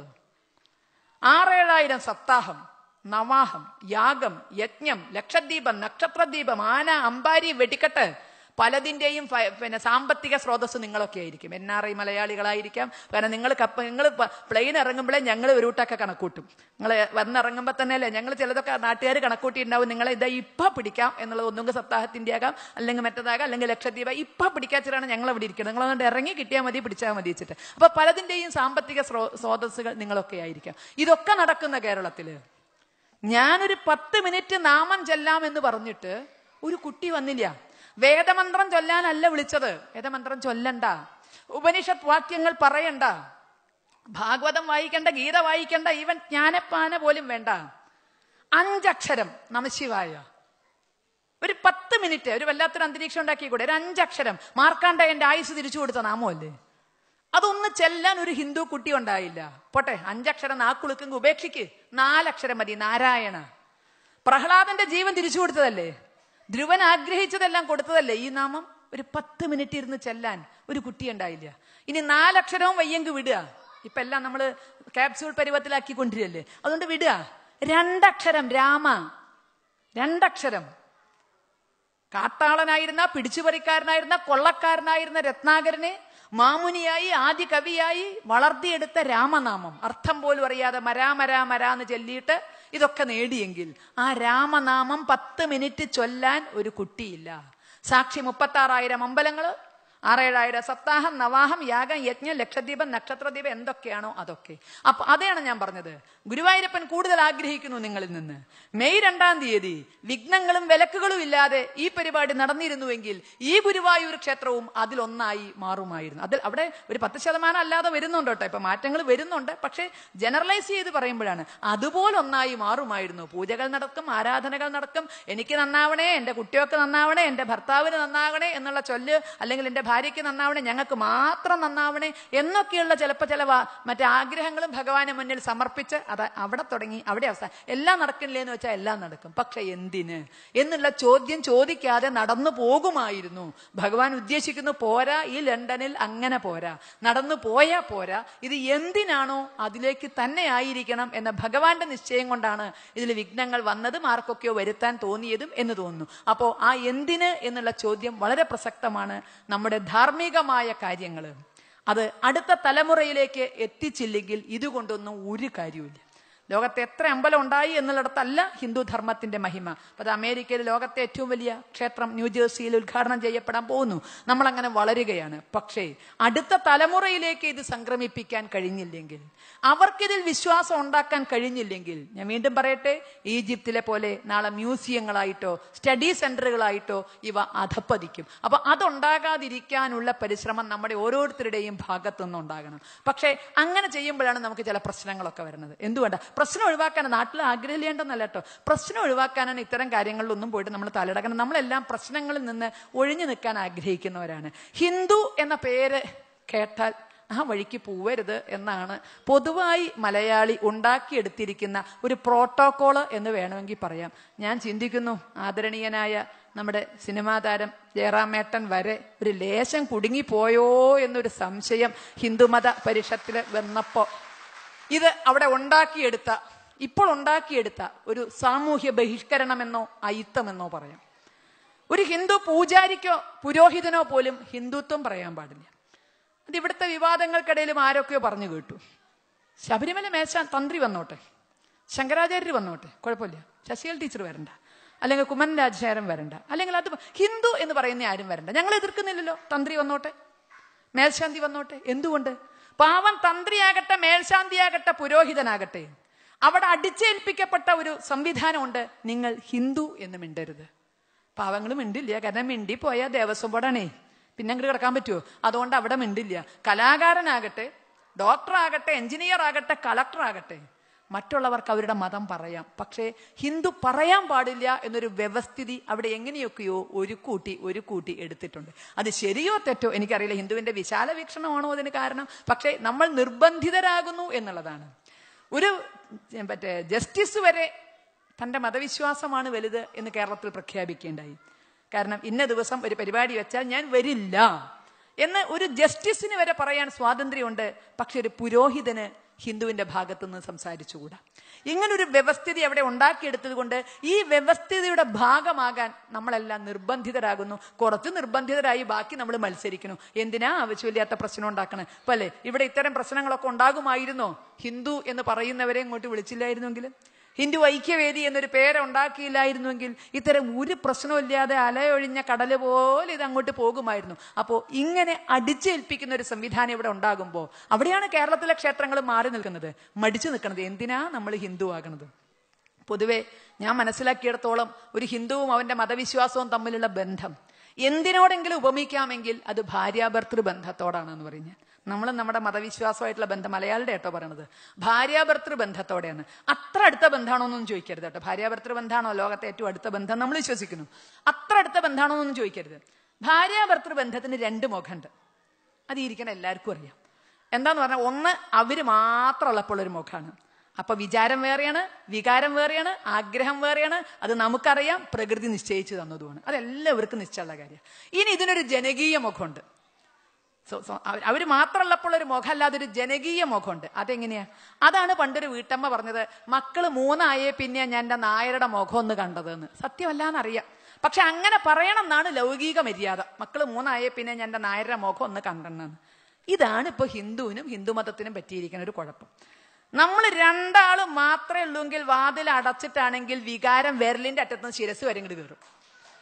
ശിരസ് വരെ. എന്താ ഇതിങ്ങനെ നമ്മളോട് മാത്രം ഇങ്ങനെ ലോകത്തെല്ലാവർക്കും വരാമെങ്കിൽ ഇവിടെ ആരൊക്കെ വന്നു പോകുന്നു? അപ്പൊ ഒന്നും ആക്ഷേപമില്ല എന്തേ ഒരു ശശികല ടീച്ചർക്കും ഒരു ഗോപാലകൃഷ്ണനും മാത്രം പ്രശ്നം?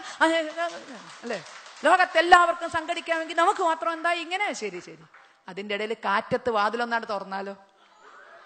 അറിയാണ്ടേ. കാറ്റിനറിയില്ലല്ലോ. നമ്മളിവിടെ രഹസ്യ സംഭാഷണം നടത്തണം എന്നുള്ളത്. വാതിലൊന്നാണ് തുറന്നാലോ? മക്കൾ മൂന്നായേ പിന്നെ നായരുടെ മുഖം ഒന്ന് കണ്ടണം. എന്ത് ഹിന്ദുത്വം? എനിക്ക് അങ്ങനെയൊന്നുമില്ല. ഓൾ ആർ മാത്തമാറ്റിക്സ് എല്ലാം കണക്കാണ്. നിങ്ങളുടെ ഇംഗ്ലീഷ് അല്ലല്ലോ ഞങ്ങളുടെ ഇംഗ്ലീഷ് മാറ്റില്ല. നിങ്ങൾ ഇവിടുന്ന് പഠിപ്പിച്ചതല്ലേ നമ്മൾ പഠിച്ചത്. അതുകൊണ്ട് ഓൾ ആർ മാത്തമാറ്റിക്സ് എല്ലാം കണക്കാന്ന് അപ്പൊ പെട്ടെന്ന് നമ്മുടെ ഭാവം മാറി വികാര അപ്പൊ അതാ ആ ഭാര്യാഭർത്തൃ ബന്ധം പോലെ വാതിലടച്ചിട്ടാൽ മറ്റാരും ഇല്ല എന്ന് തോന്നുമ്പോൾ ഉണ്ടാകുന്ന വികാരവും വിചാരവുമായി ഹിന്ദുത്വം മാറുന്നു. വാതിൽ തുറന്നാൽ ഏയ് അങ്ങനെ ഒരു അപകടവും ഇല്ല മക്കൾ മൂന്നായേ പിന്നെയാണ് എന്ന് പറയുന്ന അഭിനയിക്കാൻ നമ്മൾ നിർബന്ധിതരാകുന്നു. അതുകൊണ്ട് തന്നെ നമ്മുടെ ക്ഷേത്രങ്ങൾ പലതും എന്താണോ ചെയ്യേണ്ടത് അത് ചെയ്യാൻ ആഗ്രഹമുണ്ടെങ്കിലും മടിച്ചു നിൽക്കുന്നു അപ്പൊ ഒരു ചെറിയ ഉദാഹരണം ഞാൻ പറഞ്ഞുതരാം. മലയാളി ഉത്തരേന്ത്യയിൽ പോകുന്നു. ക്ഷേത്രങ്ങളൊക്കെ കാണുന്നു. വിസ്തരിച്ച് തൊഴുന്നു. കേദ ഹരിദ്വാരാകാം കേദാർനാഥ് എവിടെയും പോകും അല്ലേ? അവിടെ ഇങ്ങനെ തൊഴുമ്പോൾ ആദ്യം തൊഴി അങ്ങോട്ട് അറിയോ? താഴിയക്കുടത്തിന്റെ മേലെ പാറി കിടക്കണ കാവി ഉണ്ടാകും ഒരു പ്രശ്നമില്ല തൊഴുന്നു. എന്നാ ശരി. കേരളത്തിൽ വന്നു. ഒരു അമ്പലത്തിലൊരു ഉത്സവമുണ്ട്. ഒരു കാവിക്കൊടി കെട്ടണ്ട. അയ്യോ നിങ്ങൾ എന്ത് കെട്ടിയാലും കാവിക്കൊടി കെട്ടണ്ട. അലങ്കാരത്തിന് പോലും. ഒരു എൽ പി സ്കൂളിന്റെ വാർഷികത്തിന് അലങ്കരിച്ച മാതിരിയാ പല സ്കൂളും അലങ്കരിക്കുക. എൽ പി സ്കൂളിന്റെ വാർഷികത്തിന് കാക്കിരി പൂക്കിരി കണ്ണം ചിരട്ട പറഞ്ഞ് കയ്യിലുള്ള കളറൊക്കെ എടുത്ത് വെട്ടിയിട്ട് അലങ്കരിക്കില്ലേ? ഇതുപോലെയാണ്. അതിൽ രാത്രി പ്രസിഡന്റ് സെക്രട്ടറിയും ടോർച്ചടിച്ച് പോയി നോക്കും കാവ്യൊന്നും പെട്ടിട്ടില്ലല്ലോ. എന്തേ? അല്ല നമ്മൾ വെറുതെ പുലിവാൽ ഉണ്ടാക്കണ്ടല്ലോ അത് ചിലർക്ക് ഇഷ്ടല്ലേ? അപ്പൊ വേണ്ട. കാവ്യ വേണ്ട. എന്നാ ഒരു ഓമ് വെച്ചോട്ടെ. അയ്യോ അത് തീരെയും വേണ്ട. ഓമ് തീരെയും വേണ്ട. ഞാൻ തിരുവനന്തപുരത്ത് കഴിഞ്ഞ ദിവസം ഒരു കഴിഞ്ഞ മാസത്തിലൊരു പരിപാടിക്ക് ചെന്നപ്പോൾ അവിടുത്തെ വൈദ്യുത ദീപാലങ്കാരം കണ്ടിട്ട് എന്റെ വായ കൂടിയില്ല. പൊതുവെ വായ തുറന്നു വെക്കുന്ന ഒരു സ്വഭാവം ഉണ്ട് അതുകൊണ്ടാണെന്നില്ല വായ കൂടുന്നത് പത്ത് ലക്ഷം ഉറുപ്പ്യക്ക് അത്ര കരാർ കൊടുത്തിട്ടുണ്ട് വൈദ്യുത ദീപാലങ്കാരങ്ങൾ അപ്പം ഇങ്ങനെ നോക്കുമ്പോൾ റോട്ടിൽ കൂടി ഒരു തീവണ്ടി ഓടുന്നു. മതിലുമ്മ കൂടിയേ എൽ ഇ ഡി ലൈറ്റ് വെച്ചിട്ടുള്ള സംവിധാന. ഒരു എഞ്ചിനും ഉണ്ട് നാല് കമ്പാർട്ട്മെന്റും ഉണ്ട് കുത്തി കുത്തിച്ചോടുന്നു കുഴപ്പമില്ല. തൊട്ടപ്പുറത്ത് കഴിഞ്ഞപ്പോൾ വലിയൊരു കശുമാങ്ങ.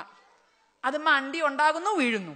വീണ്ടും ഉണ്ടാകുന്നു വീഴുന്നു. എൽ ഡിയുടെ സംഗതി കുഴപ്പമൊന്നുമില്ല. അമ്പലത്തിന്റെ ഉത്സവാട്ടോ പക്ഷേ എനിക്ക് തോന്നിയ ഒരു കാര്യം നമ്മൾ ഡൽഹൌസി പ്രഭുവിന്റെ വാർഷിക ജന്മവാർഷികോ ചരമവാർഷികമോ ഒന്നും അല്ലല്ലോ അവിടെ ആഘോഷിക്കണത്. തീവണ്ടി ഓടുന്നു. കശുമാങ്ങ പോർച്ചുഗീസുകാരന്റെ വരവിന്റെ ആഘോഷമല്ല അപ്പൊ ഇതൊക്കെ ചെയ്യാം നമുക്ക്. പക്ഷെ നേരത്തെ പറഞ്ഞ പോലെ ഒരു കാവ്യാകട്ടെ. ഓരോ അയ്യോ അതൊന്നും വേണ്ട. നമുക്ക് ഇഷ്ട നമുക്ക് ചിലർക്ക് ഇഷ്ടല്ലേ? അതുകൊണ്ട് വേണ്ട. ഇപ്പൊ ഇത്തിരി ഗീതാമന്ത്രങ്ങളൊക്കെ ശ്ലോകങ്ങളൊക്കെ ചൊല്ലണുണ്ട്. പക്ഷെ എനിക്ക് തോന്നുന്നു നിർത്താറായി എന്ന് ലേശം കഴിഞ്ഞാൽ നമ്മൾ പറയാതെ ഗീത അമ്പലത്തിൽ വേണ്ട കേട്ടോ എന്തേ? ഇതാ കണ്ടില്ലേ വിവാദം ഉണ്ടാക്കിയില്ലേ ഗീതയ്ക്ക് ഭാരതത്തിന്റെ ദേശീയ ഗ്രന്ഥം എന്ന സ്ഥാനം കൊടുക്കണം എന്ന് പറഞ്ഞപ്പോഴല്ലേ നമ്മൾ പലരുടെയും പൂച്ച പുറത്തേക്കെടുത്ത് അതുവരെ ഗീത അതാണ് ഇതാണ് ആനയാണ് ചേനയാണ് ഗീതയുടെ ചട്ട പോലും കാണാത്തവരൊക്കെ വേദികളിൽ വന്നിട്ട് ഗീതയാണെല്ലാം ഗീതയാണെല്ലാം ഗീതയാണെല്ലാം പക്ഷേ ഗീതയ്ക്ക് ദേശീയ ഗ്രന്ഥം എന്ന സ്ഥാനം കൊടുത്തോട്ടെ എന്ന് ചോദിച്ചപ്പോൾ പൂച്ച പുറത്തേക്ക് അടി. അത് മറ്റേ യുദ്ധം പ്രോത്സാഹിപ്പിക്കണതാണ് മറ്റത് പ്രോത്സാഹിപ്പിക്കണതാ മറിച്ചത് പ്രോത്സാഹ ഇപ്പൊ ഗീതക്കില്ലാത്ത കുറ്റമില്ല. ഇനി അമ്പലക്കാർ പറയാതെ ഗീത വേണ്ട കേട്ടോ കാരണം അതിന് ഒരുപാട് പേര് എതിർപ്പുണ്ട്. അതുകൊണ്ട് നമുക്ക് ഗീത വേണ്ട. ഇതാണ് ഇപ്പൊ അമ്പലത്തിലെ സ്ഥിതി. ആർക്കൊക്കെ എതിർപ്പുണ്ട് അപ്പോൾ വേണ്ട. അപ്പോൾ പണ്ടൊരു മലയാളം ക്ലാസ്സിൽ ഒരു അധ്യാപകൻ ഒരു കഥ പറഞ്ഞു തന്നിട്ടുണ്ട്. ആധ്യാത്മികമൊന്നും അല്ല കേട്ടോ പണ്ടൊരു വിദ്വാൻ രണ്ട് പെണ്ണ് കിട്ടിയതറേ രണ്ട് കെട്ടിയോ പെരുവഴിയിലെന്നാണല്ലോ പറയുക. ഇയാൾ പെരുവഴിയിലാവാണ്ടിരിക്കാനുള്ള സർക്കസൊക്കെ നോക്കുന്നുണ്ട്. രണ്ടാളെയും സംതൃപ്തിപ്പെടുത്തി കൊണ്ടുപോകുന്നുണ്ട്. ഒന്ന് ഇയാളെക്കാൾ ചെറുപ്പക്കാരിയ ഭാര്യ. നന്ന ചെറുപ്പ. ഒന്ന് കണ്ടാൽ ഇയാളെയൊക്കെ പ്രായം തോന്നും. സ്ത്രീകൾക്ക് പൊതുവെ ഇത്തിരി കൂടുതൽ തോന്നുന്നുള്ളതുകൊണ്ടാണോ? നിശ്ചയമില്ല. കണ്ടാൽ കുറച്ചുകൂടി കൂടുതൽ തോന്നും. നമുക്ക് പ്രായം അറിയില്ല ആ രൂപത്തിലാണ് ഇയാളാണെങ്കിൽ മധ്യവയസ്കനുമാണ്. അപ്പൊ ഇയാൾ ഒരു ദിവസം ചെറുപ്പക്കാരുടെ അടുത്ത് പോവും. അടുത്ത ദിവസം മറ്റേയാളുടെ. ഒരു ഒരു മിഠായി കഷ്ണം കിട്ടിയാൽ പോലും രണ്ടാക്കും കാരണം കുഴപ്പമുണ്ടാവരുത്. വെച്ചിട്ട് തുല്യമായിട്ട് കൊടുക്കുക. അങ്ങനെ പോവുക. ഇതൊക്കെയാണെങ്കിലും ഭാര്യമാരുടെ മനസ്സ് നമുക്കറിയാലോ. അവരുടെ മനസ്സ് എങ്ങനെയാവും? ഇയാളെ എനിക്ക് എന്നെ കിട്ടണം എന്നുള്ളതല്ലേ. ചെറുപ്പക്കാരുടെ അടുത്ത് ചെല്ലുമ്പോൾ അവളുടെ മനസ്സിലെ മോഹം അതായിരിക്കണത്. ഇയാളെ എനിക്ക് എന്നെ കിട്ടണം എന്നുള്ളത്. അതുകൊണ്ട് അവൾ അവിടെ നല്ല ഭക്ഷണം വെക്കും. നന്നായി വിളമ്പി കൊടുക്കും. കാരണം നാളെയും വരണല്ലോ. നന്നായി വിളമ്പി കൊടുക്കും. അടുത്തിരുന്ന് മുതുക മുതുകുഴിഞ്ഞ് കഴിക്ക് ചേട്ടാ കഴിക്ക് ചേട്ടാ എന്നൊക്കെ പറഞ്ഞ് കഴിപ്പിക്കും. മൃഷ്ടാന്നം ഭുജിച്ചാൽ ലേശം മയക്കൊക്കെ തോന്നും. അപ്പൊ സ്വന്തം മടിയിൽ തല പിടിച്ച് കിടത്തി തലയിലൂടെ ഇങ്ങനെ വിരലോടിക്കും. എന്തൊരു സ്നേഹനിധിയായ ഭാര്യ അല്ലേ പക്ഷെ അവിടെയാണ് കയ്യിലിരിപ്പ് എന്താന്നുള്ളത് മനസ്സിലാവണത് ഇതിപ്പോഴല്ല ഞാനൊക്കെ പഠിക്കണ കാലം എന്ന് പറഞ്ഞാൽ കൊല്ലം കുറച്ച് പോയി. എനിക്ക് സർവീസ് തന്നെ മുപ്പത്തിനാല് കൊല്ലമായി അപ്പോൾ കുറച്ച് കൊല്ലം മുമ്പാണ് ഈ ഗോദ്രേജ് അല്ലെങ്കിൽ ഹെയർ ഡൈകളൊന്നും ഇറങ്ങിയിട്ടില്ല. ഇയാളുടെ തല എന്ന് പറഞ്ഞിട്ടുണ്ടെങ്കിൽ ഏറെക്കുറെ ചായപ്പൊടി പാത്രത്തിൽ പഞ്ചാര വീണ മാതിരിയാണ് ഇയാൾ മധ്യവയസ്കനാണ്. അപ്പോൾ അവിടെയാണ് ഈ കളി ഇരിക്കണത്. ചെറുപ്പക്കാരുടെ മനസ്സിലെ ഇതെന്താ അറിയോ ഇവളൊക്കെ ആ രണ്ട് നിറം അങ്ങനെ കാണുമ്പോൾ സഹിക്കില്ല. അയാളുടെ ആ വെളുത്ത മുടി ഇവക്ക് തീരെ പറ്റണില്ല.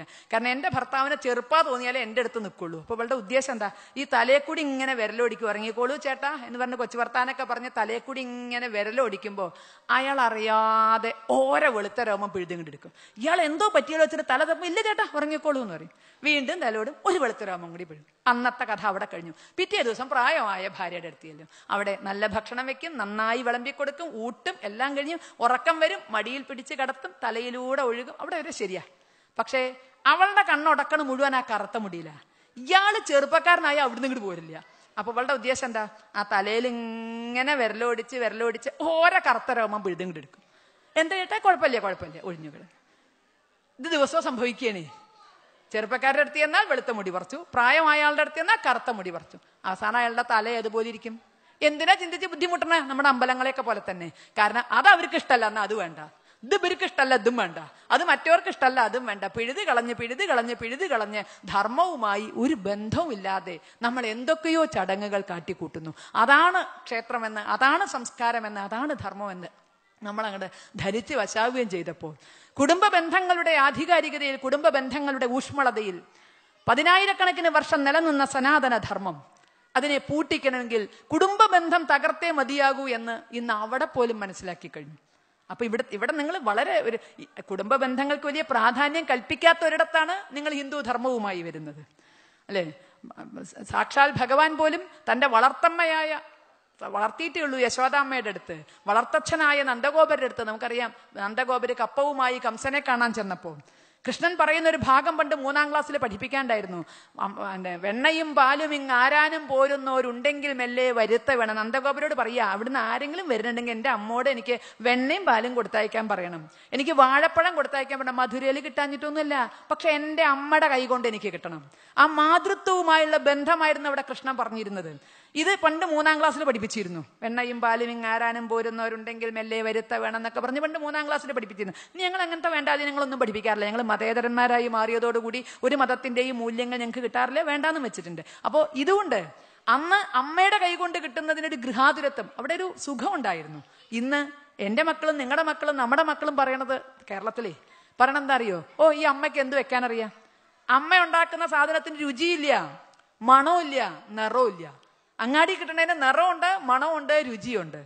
അമ്മ ഉണ്ടാക്കുന്നതിന് സ്നേഹത്തിന്റെ മണമുണ്ടെന്ന് വാത്സല്യത്തിന്റെ നിറമുണ്ടെന്ന്.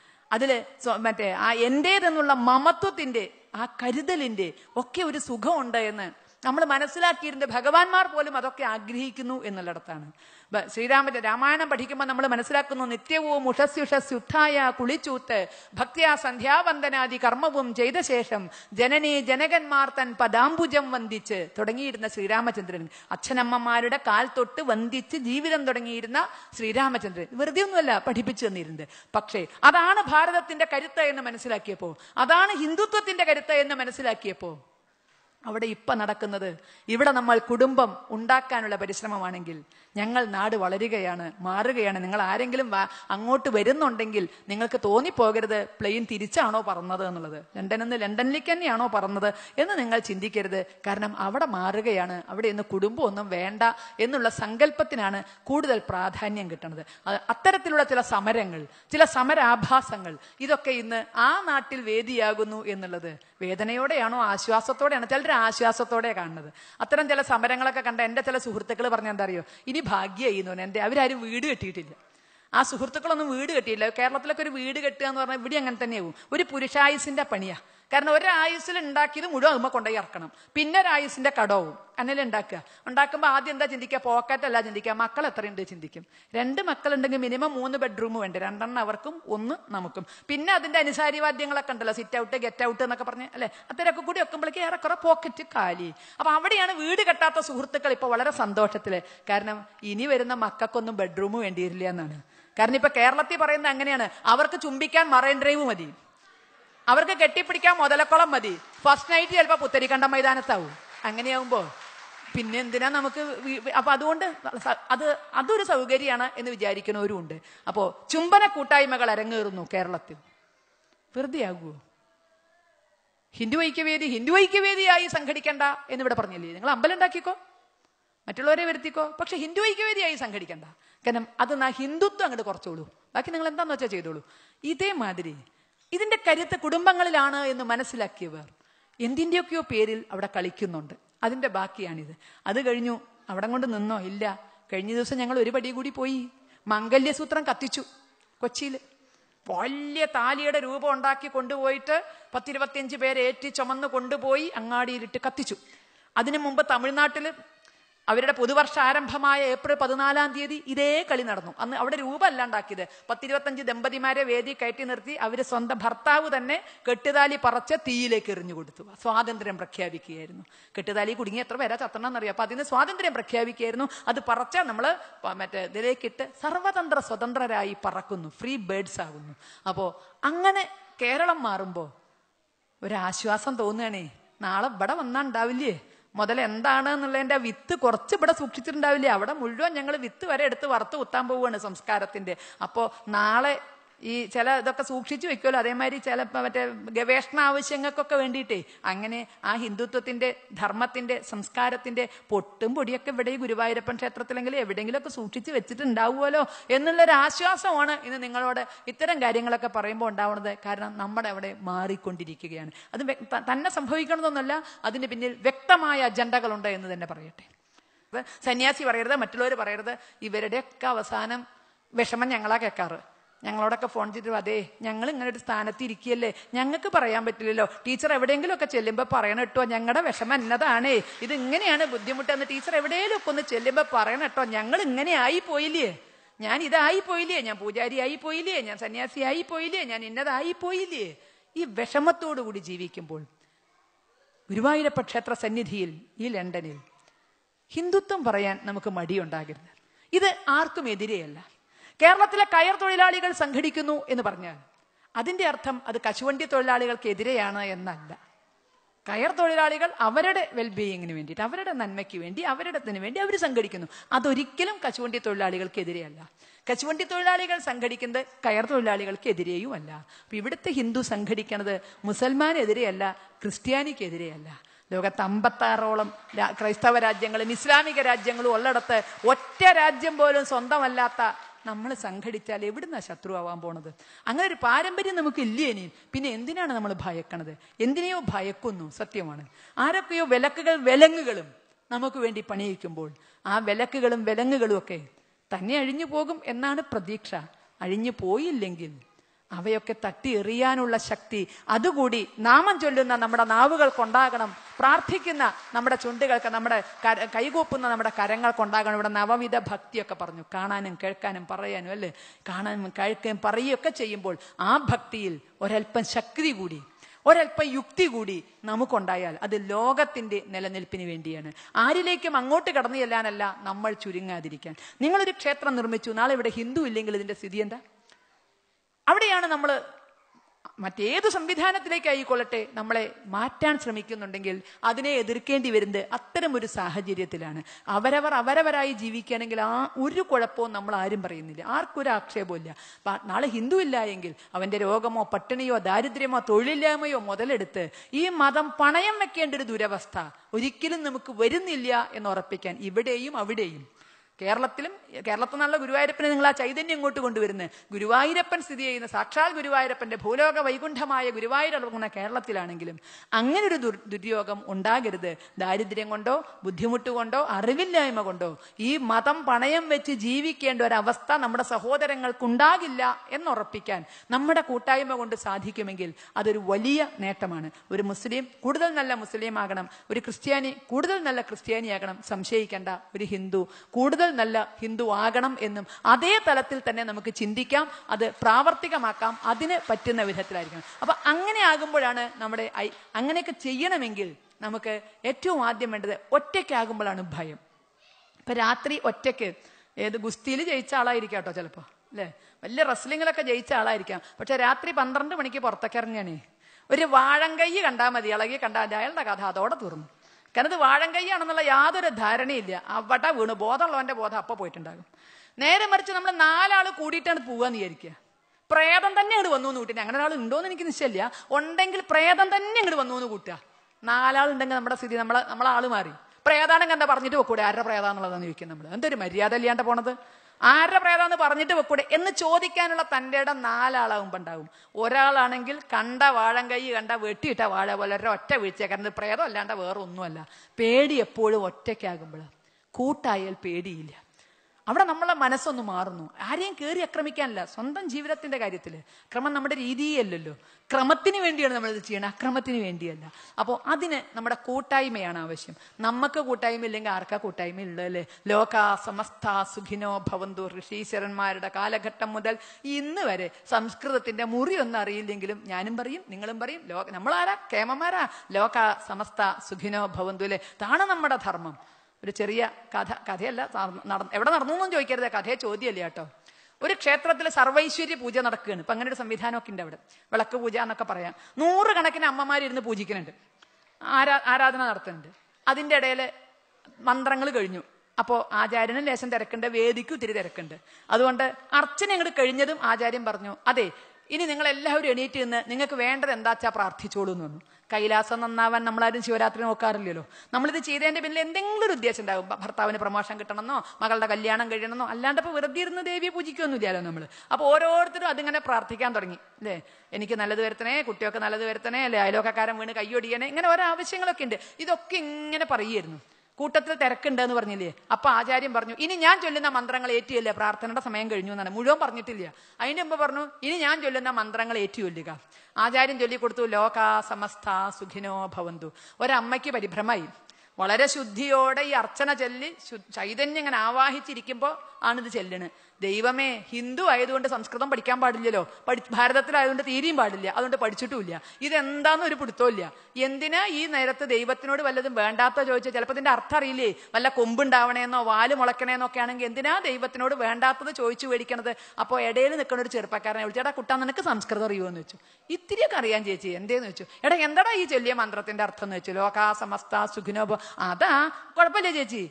സമസ്ത ലോകങ്ങളിലുള്ളവർക്കും സുഖം വരട്ടെ എന്ന്. അങ്ങനെയാ. എടാ എന്നാ എനിക്ക് സംസ്കൃതം അറിയണ ഒരാളെ കൊണ്ട് താടാന്ന് പറഞ്ഞു. എന്തിനാ ചേച്ചി? അല്ല വേറൊന്നും ഉണ്ടായിട്ടല്ലേ? അപ്പൊ ഞാൻ ഞാൻ അങ്ങനെ ചൈതന്യം മുറ്റി നിൽക്കണ നേരാണ്. ഈ നേരത്തെ ഞാൻ പ്രാർത്ഥിച്ച അച്ചട്ട. അപ്പൊ ഞാൻ ലോക സമസ്ത സുഖിനോ ഭവന്തു എന്ന് പറഞ്ഞാൽ സമസ്ത ലോകങ്ങളിലുള്ളവർക്കും സുഖം വരും. വന്നോട്ടെ കുഴപ്പമില്ല. പക്ഷെ എനിക്ക് ഇതിന്റെ കൂടെ ഒരു വരിയും കൂടി ചേർക്കണം. എന്തിനാ വരി ചേർക്കണേ? അല്ല ഞാൻ പ്രാർത്ഥിച്ച സമസ്ത ലോകങ്ങളിലുള്ളവർക്കും സുഖം വരേ. വരണോണ്ടിക്ക് കുഴപ്പമില്ല. പക്ഷേ അതിന്ന് എന്റെ കമലാക്ഷി മക്കളെ ഒന്നും ഒഴിവാക്കി തരണം എന്ന്. ഏഹ് അതാരാ കമലാക്ഷി മക്കൾ? നാത്തൂന് മക്കളുമാണേ. അവർ ചെയ്തതൊന്നും ഞാൻ ചത്താലും മറക്കില്ല. അവർക്കുള്ളത് ദൈവം കൊടുക്കാണ്ടിരിക്കില്ല. ലോക സമസ്ത സുഖിനോ ഭവന്തു. സമസ്ത ലോകങ്ങളിലുള്ളവർക്കും സുഖം വരുന്നോണ്ട് ഒരു കുഴപ്പമില്ല. പക്ഷേ സ്വന്തക്കാർക്ക് വേണ്ടാന്നേ ഉള്ളൂ. സ്വന്തക്കാരെ ആരെയൊക്കെയോ അതിൽ നിന്ന് മാറ്റി നിർത്താൻ വെമ്പുന്ന ഒരു മനോഭാവം. അതില്ലായിരുന്നെങ്കിൽ ലണ്ടൻ ഹിന്ദു ഐക്യവേദിയുടെ പ്രഥമ ഹിന്ദുമത പരിഷത്ത് മെയ് മാസം രണ്ടാം തീയതി നടക്കേണ്ടിയിരുന്നു. പക്ഷേ നടന്നില്ല. കാരണം ഇങ്ങനെ ഒരു ചില പടലപ്പിണക്കങ്ങളോ ചില കുത്തലുകളോ ഒക്കെ വിശാല വീക്ഷണം നമ്മൾ പറയുമ്പോഴും നമ്മുടെ ഇടയിലുണ്ട്. ഇവിടെ പിന്നെ നമുക്ക് എങ്ങനെ ഐക്യം പറയാൻ സാധിക്കും. ഇവിടെ. കേരളത്തിലെ പല ക്ഷേത്രങ്ങളിലും ചെല്ലുമ്പോൾ അവിടെ ഉണ്ട് എന്നെ വെള്ളം കുടിപ്പിച്ച് അടങ്ങുന്നു